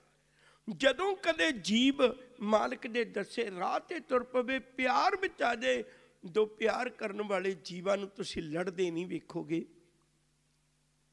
ਉਹਨਾਂ ਦੇ ਅੰਦਰ ਪਿਆਰ ਭਾਵਨਾ ਹੋਵੇਗੀ। ਸਭ ਕਹਿਣ ਲੱਗੇ ਪੁੱਤ ਵੇ ਉਹਦੀ ਬੋਲੀ ਅੱਤ ਦੀ ਪਿਆਰ ਵਾਲੀ ਹੈ। ਉਹ ਅੱਤ ਦਾ ਪਿਆਰ ਨਾਲ ਬੋਲਦਾ ਹੈ। ਐਡਾ ਵੱਡਾ ਅਹੁਦਾ ਪਾ ਕੇ ਵੀ ਉਹਦੇ ਅੰਦਰ ਕੁੜਤਣ ਨਹੀਂ ਹੈ। ਮਿੱਠ ਬੋਲੜਾ ਜੀ, ਹਰ ਸੱਜਣ ਸੁਆਮੀ ਮੋਰਾ ਹਾਂ ਸੰਮਲ ਥੱਕੀ ਜੀ, ਉਹ ਕਦੇ ਨਾ ਬੋਲੇ ਕੌਰਾ। ਜਾਂ ਅੰਮ੍ਰਿਤ ਬੋਲ ਪੜਦੇ ਹੋ ਰੱਬੀ ਬਾਣੀ ਦੇ, ਮੀਠੇ ਹਰ ਗੁਣ ਗਾਓ ਜਿੰਦੂ ਤੂੰ ਮੀਠੇ ਹਰ ਗੁਣ ਗਾਓ। ਆਖੈ, ਮੰਗੈ, ਦੇ ਦੇ, ਦਾਤ ਕਰੇ ਦਾਤਾਰ ਇਸੇ ਕਰਕੇ ਜੀਵ ਉਹਨੂੰ ਪਿਆਰਾ ਜਾਣ ਕੇ ਹਰ ਰੋਜ਼ ਉਹਦੇ ਦਰ ਤੇ ਝੋਲੀਆਂ ਅੱਡ ਅੱਡ ਕੇ ਮੰਗਦੇ ਨੇ, ਆਖਦੇ ਨੇ, ਕੀ ਕਹਿੰਦੇ ਨੇ? ਮੰਗਦੇ ਨੇ, ਸਾਨੂੰ ਆਹ ਦਾਤ ਦੇ, ਸਾਨੂੰ ਆ ਦਾਤ ਦੇ। ਦਾਤ ਕਰੇ ਦਾਤਾਰ ਉਹ ਦਾਤਾਰ ਇਤਨਾ ਕਿਰਪਾਲੂ ਹੈ ਉਹ ਫਿਰ ਵੀ ਦਾਤਾਂ ਦੇਈ ਜਾਂਦਾ ਹੈ। ਉਹ ਦਾਤਾਂ ਦੇਈ ਜਾਂਦਾ ਹੈ। ਕਦੇ ਸੰਕੋਚ ਨਹੀਂ ਕਰਦਾ। ਕਦੇ ਜਵਾਬ ਨਹੀਂ ਦਿੰਦਾ। ਮੈਂ ਉਹ ਲਾਇਕ ਨਾ ਹੋਵਾਂ ਗੱਲ ਵੱਖਰੀ ਹੈ, ਪਰ ਉਹਦੇ ਕੋਲੋਂ ਕੋਈ ਦਾਤ ਅਜਿਹੀ ਨਹੀਂ ਜਿਹੜੀ ਮਨੁੱਖ ਨੂੰ ਨਹੀਂ ਮਿਲੇਗੀ। ਉਹਨੇ ਤਾਂ ਲਿਖ ਕੇ ਦੇ ਦਿੱਤਾ, ਜੋ ਮੰਗੇ ਠਾਕੁਰ। ਆ ਸ਼ਬਦ ਹੈ ਨਾ ਜਿਹੜਾ ਇਹ ਬਹੁਤ ਪਿਆਰਾ ਸਾਰੀ ਗੱਲ ਇਹਦੇ ਚ ਰੁਕੀ ਹੋਈ ਹੈ। ਜੋ ਮੰਗੇ ਠਾਕੁਰ ਆਪਣੇ ਤੇ, ਸਾਨੂੰ ਕਿਉਂ ਨਹੀਂ ਮਿਲਦਾ? ਸਭ ਕੁਝ ਆਪਣਾ ਇਕਰਾਮ ਪਰਾਇਆ। ਪਰਾਏ ਕੋਲੋਂ ਮੰਗੋਗੇ ਤੇ ਕਦੇ ਕੁਝ ਨਹੀਂ ਮਿਲਣਾ। ਉਹ ਤੇ ਜਾਣਦਾ ਹੀ ਨਹੀਂ। ਪਰਾਇਆ ਉਹਨੂੰ ਜਾਣਦੇ ਹੀ ਨਹੀਂ ਆਪਾਂ। ਕਹਿੰਦੇ, ਆਪਣੇ ਮਾਲਕ ਕੋਲੋਂ ਮੰਗ ਕੇ ਦੇਖ, ਫਿਰ ਤਾਂ ਜੋ ਮੰਗੇਗਾ ਉਹ ਤੇਰੀ ਝੋਲੀ 'ਚ ਪਏਗਾ। ਜੋ ਮੰਗੇ ਠਾਕੁਰ ਆਪਣੇ ਤੇ, ਪਹਿਲਾਂ ਆਪਣਾ ਤਾਂ ਬਣਾ ਲੈਣਾ। ਸੋਈ ਸੋਈ ਦੇਵੇ ਹਜ਼ੂਰ ਜੀ ਕਿਰਪਾ ਕਰਦੇ ਨੇ, ਆਖੇ ਮੰਗੇ ਦੇ ਦੇ, ਦਾਤ ਕਰੇ ਦਾਤਾਰ ਉਹ ਦਾਤਾਰ ਪਰਮੇਸ਼ਰ ਦਾਤਾਂ ਦਿੰਦਾ ਆਪਣੇ ਜੀਵਾਂ ਨੂੰ। ਹੁਣ ਸਵਾਲ ਖੜਾ ਹੋਇਆ, ਜਦੋਂ ਸਾਰਾ ਕੁਝ ਤਾਂ ਉਹਦਾ ਹੈ। ਸਾਰਾ ਕੁਝ ਤਾਂ ਉਹਦਾ ਹੈ। ਹੁਣ ਜਦ ਮੈਂ ਤੈਨੂੰ ਮਿਲਣ ਚੱਲਿਆ, ਇਹ ਅਗਲੇ ਦੋ ਸਵਾਲ ਨੇ ਹੁਣ। ਦੋ ਸਵਾਲ ਪਹਿਲਾਂ ਆ ਚੁੱਕੇ ਹੋਏ ਨੇ ਕਿਵ ਸਚਿਆਰਾ ਕੋਈ ਹੈ, ਕਿਵ ਕੂੜੇ ਟੁੱਟੇ ਪਾਲ? ਅੱਠ ਸਵਾਲ ਨੇ ਜਪਜੀ ਸਾਹਿਬ ਦੇ, ਉਹਦੇ ਵਿੱਚੋਂ ਦੋ ਸਵਾਲ ਹੋਰ ਆਉਣ ਲੱਗੇ ਨੇ। ਫਿਰ ਕੇ ਅੱਗੇ ਰੱਖੀ ਹੈ ਜਿਤ ਦਿਸੇ ਦਰਬਾਰ। ਸ਼ਬਦ ਬੜਾ ਪਿਆਰਾ ਹੈ। ਮੈਂ ਦੱਸ ਤੇਰੇ ਚਰਨਾਂ ਵਿੱਚ ਕੀ ਭੇਟਾ ਰੱਖਾਂ? ਮੈਨੂੰ ਦਿਸੇ ਦਰਬਾਰ। ਬੜੀ ਵੱਡੀ ਮੁਸ਼ਕਲ ਹੈ ਮੇਰੇ ਵਾਸਤੇ। ਕਿਉਂਕਿ ਜਿਹੜੀ ਚੀਜ਼ ਮੈਂ ਭੇਟਾ ਕਰਨਾ, ਮੈਨੂੰ ਤਾਂ ਉਹੀਓ ਦਿਸਦੀ ਰਹਿੰਦੀ, ਮੈਨੂੰ ਦਰਬਾਰ ਨਹੀਂ ਦਿਸਦਾ। ਮੈਂ ਪੱਖਾ ਭੇਟਾ ਕਰਦੀ ਆ, ਜਦ ਵੀ ਮੈਂ ਗੁਰਦੁਆਰਾ ਸਾਹਿਬ ਆਵਾਂ, ਪਹਿਲੀ ਨਜ਼ਰ ਮੇਰੀ ਪੱਖੇ ਤੇ ਚਲੇ ਜਾਂਦੀ, ਵੀ ਆ ਭੇਟਾ ਮੈਂ ਕੀਤਾ ਸੀ, ਚੱਲਦਾ ਵੀ ਹੈ ਮੈਂ ਕੋਈ ਵੀ ਚੀਜ਼ ਤੇਰੇ ਚਰਨਾਂ ਵਿੱਚ ਭੇਟਾ ਕਰਾਂ, ਰਮਾਲਾ ਭੇਟ ਕਰਾਂ ਜਦ ਵੀ ਮੈਂ ਗੁਰਦੁਆਰਾ ਸਾਹਿਬ ਆਉਣਾ, ਜਿਸ ਦਿਨ ਮੇਰੇ ਵੱਲੋਂ ਭੇਟਾ ਕੀਤਾ ਹੋਇਆ ਰਮਾਦਾ ਲੱਗਿਆ ਹੋਵੇ, ਉਸ ਦਿਨ ਮੈਨੂੰ ਵੱਖਰੀ ਖੁਸ਼ੀ ਹੁੰਦੀ ਵੀ ਅੱਜ ਮੇਰੇ ਵਾਲਾ ਰਮਾਦਾ ਲੱਗਿਆ ਹੋਇਆ। ਭੇਟਾ ਵੀ ਕਰ ਚੁੱਕਾ, ਸ਼ਬਦ ਮੇਰਾ ਅਜੇ ਵੀ ਮੇਰੇ ਦਿਲ 'ਚ ਵਸਿਆ ਹੋਇਆ। ਮਾਲਕ ਜੀ, ਮੈਂ ਕੁਝ ਵੀ ਭੇਟਾ ਕਰਾਂ, ਪਰ ਮੈਨੂੰ ਭੇਟਾ ਹੀ ਦਿਸਦੀ ਹੈ, ਤੂੰ ਨਹੀਂ ਦਿਸਦਾ। ਮੈਨੂੰ ਤੂੰ ਦੱਸ, ਮੈਂ ਕੀ ਚੀਜ਼ ਭੇਟਾ ਕਰਾਂ? ਮੈਨੂੰ ਚੀਜ਼ ਨਾ ਦਿਸੇ, ਮੈਨੂੰ ਤੂੰ ਦਿਸਣ ਲੱਗ ਜਾਏ। ਛੋਟ ਛੋਟੀਆਂ ਉਦਾਹਰਨਾਂ ਦੇ ਦਿਆਂ ਵਿੱਚੋਂ ਪੀਰ ਬੁੱਧੂ ਸ਼ਾਹ ਗੁਰੂ ਚਰਨਾਂ 'ਚ ਮੱਥਾ ਟੇਕਣ ਗਏ, ਲੜਾਈ ਖਤਮ ਹੋ ਗਈ ਸੀ ਭੰਗਾਣੀ ਦੀ। ਸ਼ਿਵ ਜੀ ਕਹਿਣ ਲੱਗੇ, ਪੀਰ ਜੀ, ਅੱਜ ਇਕਾਂਤ ਵਿੱਚ ਮਿਲਣ ਆਏ ਹੋ। ਸਾਰੀ ਦਿਹਾੜੀ ਦਰਬਾਰ 'ਚ ਆਪਾਂ ਇਕੱਠੇ ਰਹੇ ਆ ਤੇ ਕੱਲ ਫੇਰ ਦਰਬਾਰ ਲੱਗਣਾ। ਕਹਿੰਦੇ, ਸਤਿਗੁਰੂ, ਇੱਕ ਬੜੀ ਮੁਹੱਬਤ ਦੀ ਗੱਲ ਕਰਨਾ ਹੈ ਪਿਆਰ ਦੀ ਗੱਲ ਕਰਨਾ ਹੈ ਉਹ ਇਕਾਂਤ ਵਿੱਚ ਹੀ ਹੋਣੀ ਸੀ। ਸ਼ਿਵ ਕਹਿੰਦੇ, ਦੱਸੋ। ਮੱਥਾ ਟੇਕ ਕੇ ਕਹਿਣ ਲੱਗੇ ਦਾਤਿਆ ਪਤਾ ਨਹੀਂ ਕਿਵੇਂ ਹੋਇਆ, ਮੈਨੂੰ ਸਮਝ ਨਹੀਂ ਲੱਗੀ। ਮੇਰੇ ਦੋ ਪੁੱਤ ਤੇਰੇ ਜੰਗ ਵਿੱਚ ਸ਼ਹੀਦ ਹੋ ਗਏ। ਇੱਕ ਬੜੀ ਅਜੀਬ ਦਾਤ ਤੇਰੇ ਕੋਲ ਮੰਗਣ ਆਇਆ। ਕਹਿਣ ਲੱਗੇ, ਕਿਹੜੀ? ਕਹਿਣ ਲੱਗੇ, ਸਹਿਬਾ, ਮੈਨੂੰ ਕਦੇ ਖਿਆਲ ਨਾ ਆਵੇ ਵੀ ਦੋ ਪੁੱਤ ਇਹ ਗੁਰੂ ਲਈ ਸ਼ਹੀਦ ਕੀਤੇ ਹੋਏ ਨੇ। ਜੇ ਮੈਂ ਭੇਟਾ ਯਾਦ ਰੱਖੀ ਨਾ ਤਾਂ ਤੇਰਾ ਮੇਰਾ ਮਲਾਪ ਨਹੀਂ ਹੋਣਾ। ਤੇਰਾ ਮੇਰਾ ਮਲਾਪ ਨਹੀਂ ਹੋਣਾ। ਭੇਟਾ ਦਾ ਅਸਲ ਵਿੱਚ ਅਰਥ ਹੀ ਹੁੰਦਾ ਹੈ। ਭੇਟਾ ਦਾ ਅਸਲ ਵਿੱਚ ਅਰਥ ਹੀ ਇਹ ਹੈ। ਭੇਟ ਦਾ ਅਰਥ ਹੁੰਦਾ ਹੈ ਮਲਾਪ। ਜਦੋਂ ਅਸੀਂ ਕੋਈ ਭੇਟਾ ਰੱਖਨੇ, ਉਹਦਾ ਅਰਥ ਹੁੰਦਾ ਵੀ ਮੇਰੀ ਇਹ ਲੇਲੜੀ ਕੱਢੀ ਹੋਈ ਹੈ ਤੇਰੇ ਚਰਨਾਂ 'ਚ। ਮੇਰਾ ਇਹ ਤਰਲਾ ਦਿਆ ਹੋਇਆ ਤੇਰੇ ਚਰਨਾਂ 'ਚ ਮੈਂ ਤੈਨੂੰ ਮਿਲਣਾ ਚਾਹੁੰਦਾ ਜਦੋਂ ਤੁਸੀਂ ਭੇਟਾ ਵੀ ਰੱਖਦੇ ਹੋ ਨਾ, ਉਹਦਾ ਮਤਲਬ ਇਹ ਹੁੰਦਾ ਵੀ ਮੇਰਾ ਇਹ ਤਰਲਾ ਹੈ। ਇਹ ਪਹਿਲਾਂ ਮੈਂ ਤੇਰੇ ਕੋਲ ਪਹੁੰਚਾਉਣ ਲੱਗਾ ਮੇਰਾ ਤਰਲਾ ਹੈ, ਮੈਂ ਤੈਨੂੰ ਮਿਲਣਾ ਚਾਹੁੰਦਾ ਪੀਰ ਬੁੱਧੂ ਸ਼ਾਹ ਕਹਿਣ ਲੱਗੇ, ਦਾਤਿਆ, ਮੈਨੂੰ ਮੇਰੇ ਪੁੱਤ ਨਾ ਦਿਸਣ। ਉਹਨਾਂ ਨੇ ਕਦ ਰੱਬ ਦੇਖਣਾ ਹੈ? ਜਿਹੜੇ ਕੁਝ ਪੈਸੇ ਦੇ ਕੇ ਵੀ ਕੰਧਾ ਤੇ ਨਾ ਲਿਖਵਾ ਲੈਂਦੇ ਨੇ। ਮੈਨੂੰ ਭੇਟਾ ਹੀ ਦਿਸੇ, ਮੈਨੂੰ ਮੇਰੀ ਉਹ ਚੀਜ਼ ਦੱਸੇ, ਤੇਰਾ ਦਰਬਾਰ ਨਾ ਦਿਸੇ। ਆ ਕਿੱਡਾ ਵੱਡਾ ਸਵਾਲ ਪੁੱਛਿਆ ਜਦੋਂ ਮੈਂ ਤੇਰੇ ਚਰਨਾਂ ਵਿੱਚ ਆਵਾਂ, ਮੈਨੂੰ ਭੇਟਾ ਨਾ ਦਿਸੇ, ਤੇਰਾ ਦਰਬਾਰ ਦਿਸੇ, ਮੈਨੂੰ ਉਹ ਨਹੀਂ ਪਤਾ ਮੈਂ ਕੀ ਭੇਟਾ ਕਰਾਂ। ਪੀਰ ਬੁੱਧੂ ਸ਼ਾਹ ਕਹਿਣ ਲੱਗੇ, ਮੈਨੂੰ ਦਾਤਿਆ ਪੁੱਤ ਚੇਤੇ ਨੂੰ ਮੈਨੂੰ ਚੇਤੇ ਆਵੇ, ਤੂੰ ਚੇਤੇ ਆਵੇਂ। ਇਸ ਲਈ ਕ ਕਿਰਪਾ ਕਰ, ਅੱਜ ਮੇਰੀ ਝੋਲੀ 'ਚ ਆਪਣੇ ਕੇਸ ਤੇ ਕੰਗਾ ਪਾ ਦੇ ਉਹਦਾ ਤੇ ਮੈਂ ਜਦ ਵੀ ਵੇਖਾਂ, ਮੈਂ ਤੈਨੂੰ ਕੰਗੇ 'ਚੋਂ ਵੇਖ ਲਾਂ, ਮੈਂ ਜਦ ਵੀ ਵੇਖਾਂ, ਤੈਨੂੰ ਕੇਸਾਂ 'ਚੋਂ ਵੇਖ ਲਾਂ, ਮੈਨੂੰ ਯਾਦ ਹੀ ਨਾ ਆਵੇ, ਮੈਂ ਪੁੱਤ ਸ਼ਹੀਦ ਕਰਵਾਏ ਮੈਨੂੰ ਮੇਰੀ ਨਿਸ਼ਾਨੀ ਨਹੀਂ, ਮੈਨੂੰ ਤੂੰ ਆਪਣੀ ਨਿਸ਼ਾਨੀ ਦੇ, ਤੂੰ ਦੱਸੇ। ਮੈਂ ਕਹਿੰਦਾ, ਜਿਹੋ ਜਿਹਾ ਪਿਆਰ ਪੀਰ ਬੁੱਧੂ ਸ਼ਾਹ ਨੇ ਕੀਤਾ ਨਾ ਆਪਾਂ ਕਦੇ ਵੀ ਨਹੀਂ ਕਹਿੰਦੇ ਆ ਭੇਟਾ ਰੱਖ ਲੈ ਤੇ ਆਪਣਾ ਦਰਬਾਰ ਦਿਖਾ ਦੇ, ਮੈਨੂੰ ਦਰਬਾਰ ਦਿਖਾ ਦੇ, ਮੈਂ ਤਾਂ ਭੇਟਾ ਹੀ ਦੇਖੀ ਜਾਂਦਾ ਬਹਾਦਰ ਸ਼ਾਹ ਗੁਰੂ ਗੋਬਿੰਦ ਸਿੰਘ ਜੀ ਕੋਲ ਗਏ, ਨਗੀਨਾ ਘਾਟ ਗੁਰਦੁਆਰਾ ਸਾਹਿਬ ਬਣਿਆ ਸਤਿਗੁਰੂ ਜੀ ਦੇ ਚਰਨਾਂ 'ਚ ਇੱਕ ਕੀਮਤੀ ਨਗੀਨਾ ਭੇਟ ਕੀਤਾ। ਸਾਹਿਬ ਨੇ ਵੇਖਿਆ, ਚੁੱਕਿਆ, ਗੋਦਾਵਰੀ 'ਚ ਭਗਾ ਕੇ ਮਾਰਿਆ। ਬਹਾਦਰ ਸ਼ਾਹ ਕੰਬ ਗਿਆ, ਕਹਿਣ ਲੱਗੇ, ਸਤਿਗੁਰੂ, ਪਤਾ ਸੀ ਕੀ ਸੀ? ਕੀਮਤੀ ਨਗੀਨਾ ਸੀ। ਸਾਹਿਬ ਕਹਿੰਦੇ, ਬਹਾਦਰ ਸ਼ਾਹ, ਤੂੰ ਤਾਂ ਬੜੀ ਚਿਰਾਂ ਬਾਅਦ ਵੇਖਿਆ ਹੋਏਗਾ। ਮੈਂ ਤਾਂ ਪੌਣੇ 9 ਸਾਲ ਦੀ ਉਮਰ ਸੀ ਜਦੋਂ ਕਲਗੀਆਂ ਚਲਾਉਣ ਲੱਗ ਪਿਆ। ਪਤਾ ਸੀ ਕੀਮਤੀ ਨਗੀਨਾ ਫਿਰ ਪਾਤਸ਼ਾਹ ਸਿੱਟਿਆ ਕਿਉਂ ਏਡੀ ਦੂਰ? ਨੇੜੇ ਸਿੱਟ ਦਿੰਦੇ, ਮੈਂ ਫਿਰ ਕਢਵਾ ਲੈਂਦਾ। ਹਜ਼ੂਰ ਕਹਿਣ ਲੱਗੇ, ਬਹਾਦਰ ਸ਼ਾਹ, ਨਗੀਨਾ ਲੈ ਕੇ ਕਿਉਂ ਆਇਆ ਸੀ? ਕਹਿਣ ਲੱਗੇ, ਭੇਟਾ ਕਰਨ ਵਾਸਤੇ। ਕਹਿਣ ਲੱਗੇ, ਫਿਰ ਭੇਟਾ ਕਰ ਚੁੱਕਾ ਹੋਇਆ ਉੱਤੇ ਹੁਣ ਮੇਰਾ ਹੈ ਨਾ। ਹੁਣ ਵੀ ਤੂੰ ਨਗੀਨਾ ਹੀ ਦੇਖੀ ਜਾਂਦਾ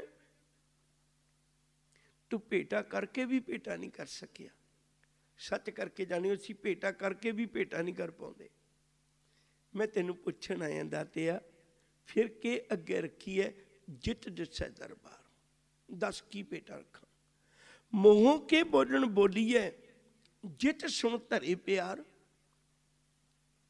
ਇਹੋ ਜਿਹੇ ਸ਼ਬਦ ਤਾਂ ਮੇਰੇ ਕੋਲ ਬਹੁਤ ਹੰਕਾਰ ਨੇ, ਜਿਨ੍ਹਾਂ ਵਿੱਚੋਂ ਇਹੋ ਜਿਹੇ ਸ਼ਬਦ ਤਾਂ ਮੇਰੇ ਕੋਲ ਬਹੁਤ ਨੇ ਜਿਨ੍ਹਾਂ ਵਿੱਚੋਂ ਹੰਕਾਰ ਪੈਦਾ ਹੁੰਦਾ ਹੈ, ਮੇਰੇ ਕੋਲ ਇੱਕ ਵੀ ਸ਼ਬਦ ਨਹੀਂ ਜਿਹਦੇ ਨਾਲ ਤੇਰਾ ਪਿਆਰ ਪੈਦਾ ਹੋ ਜਾਏ। ਮੈਂ ਅੱਜ ਉਹ ਸ਼ਬਦ ਪੁੱਛਣ ਆਇਆ ਪੜਿਆ ਲਿਖਿਆ, ਵਿਚਾਰਿਆ, ਬਾਣੀ ਪੜੀ ਫਿਰ ਵੀ ਮੈਂ ਬੋਲ ਨਹੀਂ ਬੋਲ ਸਕਿਆ, ਜੋ ਬਬੀਹਾ ਬੋਲ ਪੈਂਦਾ ਮਨੂੰ ਕਦੇ ਕਿਸੇ ਮੰਦਰ ਜਾਂਦਿਆਂ ਨਹੀਂ ਵੇਖਿਆ, ਕਦੇ ਕਥਾ ਸੁਣਦਿਆਂ ਨਹੀਂ ਵੇਖਿਆ ਕਦੇ ਕੀਰਤਨ ਸੁਣਦਿਆਂ ਨਹੀਂ ਵੇਖਿਆ, ਉਹਨੂੰ ਕਿਸੇ ਧਾਰਮਿਕ ਸਥਾਨ ਤੇ ਨਹੀਂ ਵੇਖਿਆ, ਕਿਸੇ ਤੀਰਥਾਂ ਤੇ ਇਸ਼ਨਾਨ ਕਰਦਾ ਨਹੀਂ ਵੇਖਿਆ, ਪਰ ਉਹ ਕਿੱਡਾ ਵਧੀਆ ਜਦ ਵੀ ਬੋਲਦਾ ਉਹ ਤੈਨੂੰ ਮੋਹ ਲੈਂਦਾ ਹੈ। ਤੇਰੇ ਨਾਲ ਪਿਆਰ ਪਾ ਲੈਂਦਾ ਬਬੀਹਾ ਅੰਮ੍ਰਿਤ ਵੇਲੇ ਬੋਲਿਆ, ਤਾਂ ਦਰ ਸੁਣੀ ਪੁਕਾਰ, ਝਟ ਪੁਕਾਰ ਸੁਣ ਲਈ। ਮੈਂ ਕਿਹੜੇ ਬੋਲ ਬੋਲਾਂ ਤੇਰਾ ਮੇਰਾ ਪਿਆਰ ਬਣ ਜਾਏ? ਸਵਾਲ ਨਹੀਂ। ਫਿਰ ਕੇ ਅੱਗੇ ਰੱਖੀਏ ਜਿਤ ਸੇ ਦਰਬਾਰ ਮੋਹ ਕੇ ਬੋਲਣ ਬੋਲੀਏ ਜਿਤ ਸੁਣ ਧਰੇ ਪਿਆਰ। ਜਵਾਬ ਹੈ ਹੁਣ ਇਸ ਗੱਲ ਦਾ। ਅੰਮ੍ਰਿਤ ਵੇਲਾ ਸੱਚ ਨਾਉ ਵਡਿਆਈ ਵਿਚਾਰ। ਅੰਮ੍ਰਿਤ ਵੇਲਾ, ਇਹ ਸ਼ਬਦ ਦਾ ਬੜਾ ਸੀ ਰੌਲਾ ਪਾਇਆ ਹੋਇਆ। ਬਹੁਤ ਰੌਲਾ ਪਾਇਆ। ਅਸੀਂ ਇਸ ਗੱਲ ਦਾ ਫੈਸਲਾ ਨਹੀਂ ਕਰ ਪਾਈ ਵੀ ਅੰਮ੍ਰਿਤ ਕੀ ਚੀਜ਼ ਹੈ। ਅੰਮ੍ਰਿਤ ਹੈ ਪਰਮੇਸ਼ਰ ਦਾ ਨਾਮ। ਅੰਮ੍ਰਿਤ ਨਾਮ ਪਰਮੇਸ਼ਰ ਤੇਰਾ। ਉਹਨੂੰ ਜਿਹੜੀ ਚੀਜ਼ ਚ ਪਾ ਦਿਓਗੇ, ਉਹ ਅੰਮ੍ਰਿਤ ਬਣ ਜਾਣੀ ਹੈ। ਮੈਂ ਇੱਕ ਵਾਰੀ ਫਿਰ ਬੇਨਤੀ ਕਰਾਂ। ਇੱਕ ਹੁੰਦੀ ਚਾਹ, ਇੱਕ ਹੁੰਦਾ ਮਿੱਠਾ। ਸੋ ਇਦੋਂ ਸੌਖੀ ਉਦਾਹਰਨ ਆਪਾਂ ਨੂੰ ਹੋਰ ਨਹੀਂ ਲੱਭਣੀ। ਆਪਾਂ ਕਹਿੰਦੇ ਚਾਹ ਵਿੱਚ ਮਿੱਠਾ ਘੱਟ ਹੈ। ਇਹਦਾ ਮਤਲਬ ਮਿੱਠਾ ਪਾਇਆ, ਮਿੱਠਾ ਇੱਕ ਵੱਖਰੀ ਚੀਜ਼ ਹੈ। ਚਾਹ ਤੋਂ ਬਿਨਾ ਮਿੱਠਾ ਕੋਈ ਵੱਖਰੀ ਚੀਜ਼ ਹੈ।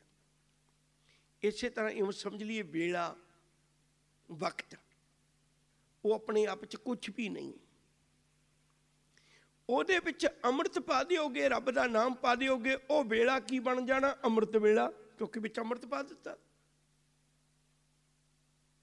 ਭਾਈ ਗੁਰਦਾਸ ਜੀ ਨੇ ਇੱਕ ਬਚਨ ਆਖਿਆ, ਦੂਜਿਆਂ ਨੇ, ਗੁਰੂ ਗੋਬਿੰਦ ਅਰਾਧੀ ਹੈ ਸ਼ਦ ਅੰਮ੍ਰਿਤ ਵੇਲਾ। ਜਦ ਵੀ ਤੂੰ ਜਿਹੜੇ ਵੇਲੇ ਨੂੰ ਮਰਜ਼ੀ ਅੰਮ੍ਰਿਤ ਬਣਾ ਲੈ, ਜਿਹੜੇ ਵੇਲੇ ਨੂੰ ਮਰਜ਼ੀ ਜ਼ਹਿਰ ਬਣਾ ਲੈ, ਅੰਮ੍ਰਿਤ ਵੇਲੇ ਉੱਠ ਕੇ ਵੀ ਜੇ ਤੂੰ ਨਿੰਦਾ ਕਰਨਾ, ਉਹ ਜ਼ਹਿਰ ਬਣ ਜਾਣੀ ਹੈ ਜੇ ਤੂੰ ਸ਼ਾਮ ਨੂੰ ਵੀ ਕਿਤੇ ਰੱਬ ਦੇ ਗੁਣ ਗਾਉਣ ਲੱਗਿਆ, ਉਹ ਵੀ ਅੰਮ੍ਰਿਤ ਵੇਲਾ ਬਣ ਜਾਣਾ ਹੈ ਮੇਰਾ ਮਸਲਾ ਇਸ ਗੱਲ ਨਾਲ ਨਾ ਲਿਓ ਵੀ ਮੈਂ ਕਿਸੇ ਅੰਮ੍ਰਿਤ ਵੇਲੇ ਦਾ ਵਿਰੋਧੀ ਬਿਲਕੁਲ ਨਹੀਂ। ਉਸ ਵੇਲੇ ਕੰਮਾਂ ਦੇ ਅਨੁਸਾਰ ਵੰਡ ਸੀ ਵੀ ਮਨੁੱਖ ਕੋਲ ਸਵੇਰ ਦਾ ਵਕਤ ਸੌਖਾ ਹੁੰਦਾ ਸੀ ਤੇ ਉਸ ਵੇਲੇ ਉਹ ਸੌਖਾ ਜਿਹਾ ਰੱਬ ਰੱਬ ਕਰ ਲੈਂਦਾ ਸੀ। ਹਜੇ ਮਨ ਦੀਆਂ ਭਾਵਨਾਵਾਂ ਨਹੀਂ ਸੀ ਪਟਕੀਆਂ ਹੁੰਦੀਆਂ। ਦਾਸ ਅਕਸਰ ਬੇਨਤੀ ਕਰਦਾ ਹੈ, ਲੋਕ ਅੰਮ੍ਰਿਤ ਵੇਲੇ ਜਾਗਦੇ ਨੇ, ਸੱਜਣ, ਭਾਈ ਸੱਜਣ, ਉਹ ਰਾਤ ਦੇ ਵੇਲੇ ਜਦੋਂ ਲੋਕ ਸੌਣ ਲੱਗੇ ਸਨ ਉਦੋਂ ਜਾਗੇ ਅਸੀਂ। ਇਤਿਹਾਸ ਦੀ ਸਾਖੀ ਪੜ੍ਹ ਕੇ ਦੇਖ ਲਓ, ਗੁਰੂ ਨਾਨਕ ਸਾਹਿਬ ਸੱਚੇ ਪਾਤਸ਼ਾਹ ਜਦੋਂ ਲੋਕ ਸੌਣ ਲੱਗੇ ਨੇ ਉਦੋਂ ਗੁਰੂ ਨਾਨਕ ਸਾਹਿਬ ਜੀ ਨੇ ਭਾਈ ਮਰਦਾਨਾ ਜੀ ਨੂੰ ਕਿਹਾ, ਰਬਾਬ ਵਜਾ ਤੇ ਰਬਾਬ ਵਜਾਈ ਸੱਜਣ ਆ ਕੇ ਕੋਲ ਬੈਠ ਗਿਆ, ਉਹ ਜਾਗ ਪਿਆ। ਲੋਕ ਸੌਣ ਲੱਗੇ ਨੇ, ਸੱਜਣ ਜਾਗਿਆ ਸੀ। ਤੁਸੀਂ ਕਿਹੜੇ ਵੇਲੇ ਨੂੰ ਅੰਮ੍ਰਿਤ ਵੇਲਾ ਕਹੋਗੇ? ਗੁਰੂ ਗੋਬਿੰਦ ਸਿੰਘ ਸਾਹਿਬ ਸੱਚੇ ਪਾਤਸ਼ਾਹ, ਸਿਰਫ 4 ਦਿਨਾਂ ਦਾ ਫ਼ਰਕ ਹੈ। ਸਰਸਾ ਦੇ ਕਿਨਾਰੇ ਕਹਿ ਰਹੇ ਨੇ ਵੀ ਅੰਮ੍ਰਿਤ ਵੇਲਾ ਸੰਭਾਲੂ, ਆਸਾ ਕੀ ਬਾਹਰ ਹੈ? 4 ਦਿਨਾਂ ਬਾਅਦ ਭਾਈ ਦਿਆ ਸਿੰਘ ਜੀ ਨੂੰ ਮਾਛੀ ਬਾੜ ਦੇ ਜੰਗਲਾਂ ਸੁੱਤੇ ਪਏ ਮਿਲ ਰਹੇ ਨੇ। ਵੇਲਾ ਤੇ ਹੋਈ ਸੀ ਅੰਮ੍ਰਿਤ ਵੇਲੇ ਦਾ। ਸਵਾਲ ਸੀ, ਜਦੋਂ ਵੀ ਤੁਸੀਂ ਅੰਮ੍ਰਿਤ ਪਾ ਦਿਓਗੇ, ਵੇਲਾ ਅੰਮ੍ਰਿਤ ਬਣ ਜਾਣਾ ਉਹਨੂੰ ਵੀ ਸੰਭਾਲੋ, ਜਿਹੜਾ ਅੰਮ੍ਰਿਤ ਵੇਲਾ ਹੈ। ਪਰ ਹਰ ਵਕਤ ਵੇਲੇ ਨੂੰ ਵੀ ਅੰਮ੍ਰਿਤ ਬਣਾ, ਬਾਕੀ ਵੇਲਿਆਂ ਨੂੰ ਜ਼ਹਿਰ ਨਾ ਬਣਾ। ਬਾਕੀ ਵੇਲੇ ਨੂੰ ਵੀ ਅੰਮ੍ਰਿਤ ਬਣਾ। ਅੰਮ੍ਰਿਤ ਵੇਲਾ ਸੱਚ ਨਾਮ ਜਦੋਂ ਉਹਦੇ ਚ ਸੱਚਾ ਨਾਮ ਪਾ ਦੇਗਾ। ਵਡਿਆਈ ਵਿਚਾਰ, ਰੱਬ ਦੀਆਂ ਵਡਿਆਈਆਂ ਦੀ ਵਿਚਾਰ ਕਰਨੀ। ਭੇਟਾ ਕੀ ਰੱਖ, ਭੇਟਾ ਕੀ ਰੱਖਣਾ ਹੈ? ਆਪਣੀ ਜ਼ਿੰਦਗੀ ਦਾ ਸਮਾਂ। ਮੋਹ ਕੀ ਬੋਲਣ, ਬੋਲਣਾ ਵਡਿਆਈ ਵਿਚਾਰ। ਉਹਦੀਆਂ ਚੰਗੀਆਂ ਵਡਿਆਈਆਂ ਆਪਣੀ ਜ਼ਬਾਨੋਂ ਕਰਨੀਆਂ। ਇਹ ਉਹਦੇ ਚਰਨਾਂ ਵਿੱਚ ਬੋਲ ਬੋਲਣੇ ਨੇ ਤੇ ਆਪਣੀ ਜ਼ਿੰਦਗੀ ਦਾ ਸਮਾਂ ਉਹਦੇ ਚਰਨਾਂ ਵਿੱਚ ਲੇਖੇ ਲਾਉਣਾ ਹੈ। ਇਹ ਅੰਮ੍ਰਿਤ ਵੇਲਾ ਇਹ ਭੇਟਾ ਹੈ। ਇਹਦੇ ਨਾਲ ਕੀ ਹੋਵੇਗਾ? ਕਰਮੀ ਆਵੇ ਕਪੜਾ। ਜਦੋਂ ਤੂੰ ਇਵੇਂ ਕਰੇਗਾ, ਰੱਬ ਤੈਨੂੰ ਸਿਫਤ ਸਲਾਹ ਦਾ ਕੱਪੜਾ ਪਾ ਦੇਗਾ। ਰੱਬ ਤੈਨੂੰ ਵਡਿਆਈਆਂ ਦਾ ਕੱਪੜਾ ਪਾ ਦੇਗਾ। ਭਾਵ ਹਰ ਵਕਤ ਤੇਰੀ ਪੁਸ਼ਾਕ, ਤੇਰਾ ਪਹਿਰਾਵਾ ਹੀ ਉਹ ਹੋਏਗਾ। ਰੱਬ ਨੂੰ ਮਿਲਣ ਵਾਲਾ ਪਹਿਰਾਵਾ ਹੁਣ ਜੀਵ ਨੂੰ ਮਿਲਣ ਲੱਗਿਆ। ਕਰਮੀ ਆਵੇ ਕੱਪੜਾ, ਬਖਸ਼ਿਸ਼ ਦੇ ਨਾਲ, ਰਹਿਮਤ ਦੇ ਨਾਲ ਫਿਰ ਤੈਨੂੰ ਇਹ ਕੱਪੜਾ ਮਿਲ ਜਾਣਾ, ਜਿਹਨੂੰ ਇੱਕ ਵਾਰੀ ਪਾ ਲਈਏ ਨਗੇਸ ਕੱਜਿਆ ਜਾਂਦਾ ਇਸੇ ਤਰ੍ਹਾਂ ਰੱਬ ਦੀ ਸਿਫਤ ਸਲਾਹ ਦਾ ਕੱਪੜਾ ਪਾ ਲੈ, ਤੇਰੇ ਸਮੁੱਚੇ ਔਗਣ ਟਕੇ ਜਾਣੇ ਨੇ। ਆਉਣਾ ਹੀ ਨਹੀਂ ਤੇਰੇ ਕੋਲ, ਕਿਸੇ ਮੌਸਮ ਦਾ ਅਸਰ ਨਹੀਂ ਹੋਵੇਗਾ। ਕਰਮੀ ਆਵੇ ਕੱਪੜਾ, ਪ੍ਰੇਮ ਪਟੋਲਾ, ਤੈ ਸ਼ਹਿ ਦਿੱਤਾ, ਢੱਕਣ ਕੂ ਪੱਟ ਮੇਰੀ। ਜਾਂ ਅੰਮ੍ਰਿਤ ਬਾਣੀ ਦਾ ਬਚਨ ਹੈ, ਕਹਿੰਦੇ ਤੈਨੂੰ ਉਹ ਕੱਪੜਾ ਮਿਲੇਗਾ ਜਿਹੜਾ ਰੱਬ ਦੀ ਸਿਫਤ ਸਲਾਹ ਦਾ, ਜਿਹਦੇ ਬਾਰੇ ਚ ਅਰਦਾਸ ਕੀਤੀ ਹੋਈ ਹੈ, ਮ- ਸਤਿਗੁਰ ਤੁਮਕੋ ਹੋਏ ਦਿਆਲਾ ਸੰਤ ਸੰਗ ਤੇਰੀ ਪ੍ਰੀਤ ਕਾਪੜ ਪਤ ਪਰਮੇਸ਼ਰ ਰਾਖੀ। ਉਹ ਵਾਲਾ ਕੱਪੜਾ। ਕਾਪੜ ਪਤ ਪਰਮੇਸ਼ਰ ਰਾਖੀ, ਭੋਜਨ, ਕੀਰਤਨ ਨੀਤ ਉਹ ਤੈਨੂੰ ਮਿਲੇਗਾ। ਨਦਰੀ ਮੋਖ ਦੁਆਰ ਕਹਿੰਦੇ ਰੱਬ ਦੀ ਰਹਿਮਤ ਦਾ ਭਾਗੀ ਬਣ ਗਿਆ, ਤੈਨੂੰ ਮੁਕਤੀ ਦਾ ਦੁਆਰਾ ਮਿਲ ਜਾਣਾ ਹੈ। ਨਾਨਕ ਐਵੇਂ ਜਾਣੀਏ ਸਭ ਆਪੇ ਸਚਿਆਰ ਬਸ ਇਹ ਆਖਰੀ ਪੰਕਤੀ, ਇਹਨੂੰ ਸਮਝ ਲੈਣਾ। ਸ਼ਬਦ ਜੀ ਕਹਿੰਦੇ ਨੇ, ਐਵੇਂ ਦਾ ਮਤਲਬ ਹੁੰਦਾ ਇਸ ਤਰ੍ਹਾਂ। ਐਵੇਂ ਨਹੀਂ, ਐਵੇਂ। ਇਵੇਂ ਸ਼ਬਦ ਹੈ। ਨਾਨਕ ਐਵੇਂ ਜਾਣੀ ਹੈ ਇਸ ਤਰ੍ਹਾਂ ਸਮਝਣਾ ਚਾਹੀਦਾ ਹੈ। ਸਭ ਆਪੇ ਸਚਿਆਰ ਸਚਿਆਰ ਇਵੇਂ ਹੋਈਦਾ ਭਲਿਆ ਆ ਤਰੀਕਾ ਹੈ। ਹੁਣ ਜਾਣੀਏ ਸ਼ਬਦ ਹੈ ਇੱਥੇ। ਨਾਨਕ ਐਵੇਂ ਜਾਣੀਏ ਇਵੇਂ ਸਮਝ ਲੈ ਵੀ ਇਵੇਂ ਸਚਿਆਰ ਹੁੰਦਾ ਬੰਦਾ। ਹੋਇਆ ਨਹੀਂ ਹੈ ਜੇ ਸਚਿਆਰ, ਇਹ ਤਾਂ ਤਰੀਕਾ ਦੱਸਿਆ ਇਹ ਤਾਂ ਤਰੀਕਾ ਦੱਸਿਆ ਵੀ ਇਵੇਂ ਸਤਿਆਰ ਹੋਇਆ ਜਾਂਦਾ ਇਵੇਂ ਸਚਿਆਰ ਹੋਇਆ ਜਾਂਦਾ ਇਹ ਜੇ ਤਰੀਕਾ ਦੱਸਿਆ, ਜਿਹੜਾ ਇਹ ਤਰੀਕੇ ਨੂੰ ਕਮਾ ਲੇਗਾ ਉਹ ਸਚਿਆਰ ਬਣ ਜਾਏਗਾ। ਜਿਹੜਾ ਸਚਿਆਰ ਹੋ ਗਿਆ, ਉਹ ਸੱਚੇ ਦੀ ਗੋਦ ਵਿੱਚ ਚਲਾ ਜਾਏਗਾ। ਭੁੱਲਾ ਚੁੱਕਾਂ ਦੀ ਖਿਮਾ ਜੀ। ਅਦਬ ਨਾਲ ਆਖੋ, ਵਾਹਿਗੁਰੂ ਜੀ ਕਾ ਖਾਲਸਾ, ਵਾਹਿਗੁਰੂ ਜੀ ਕੀ ਫਤਿਹ।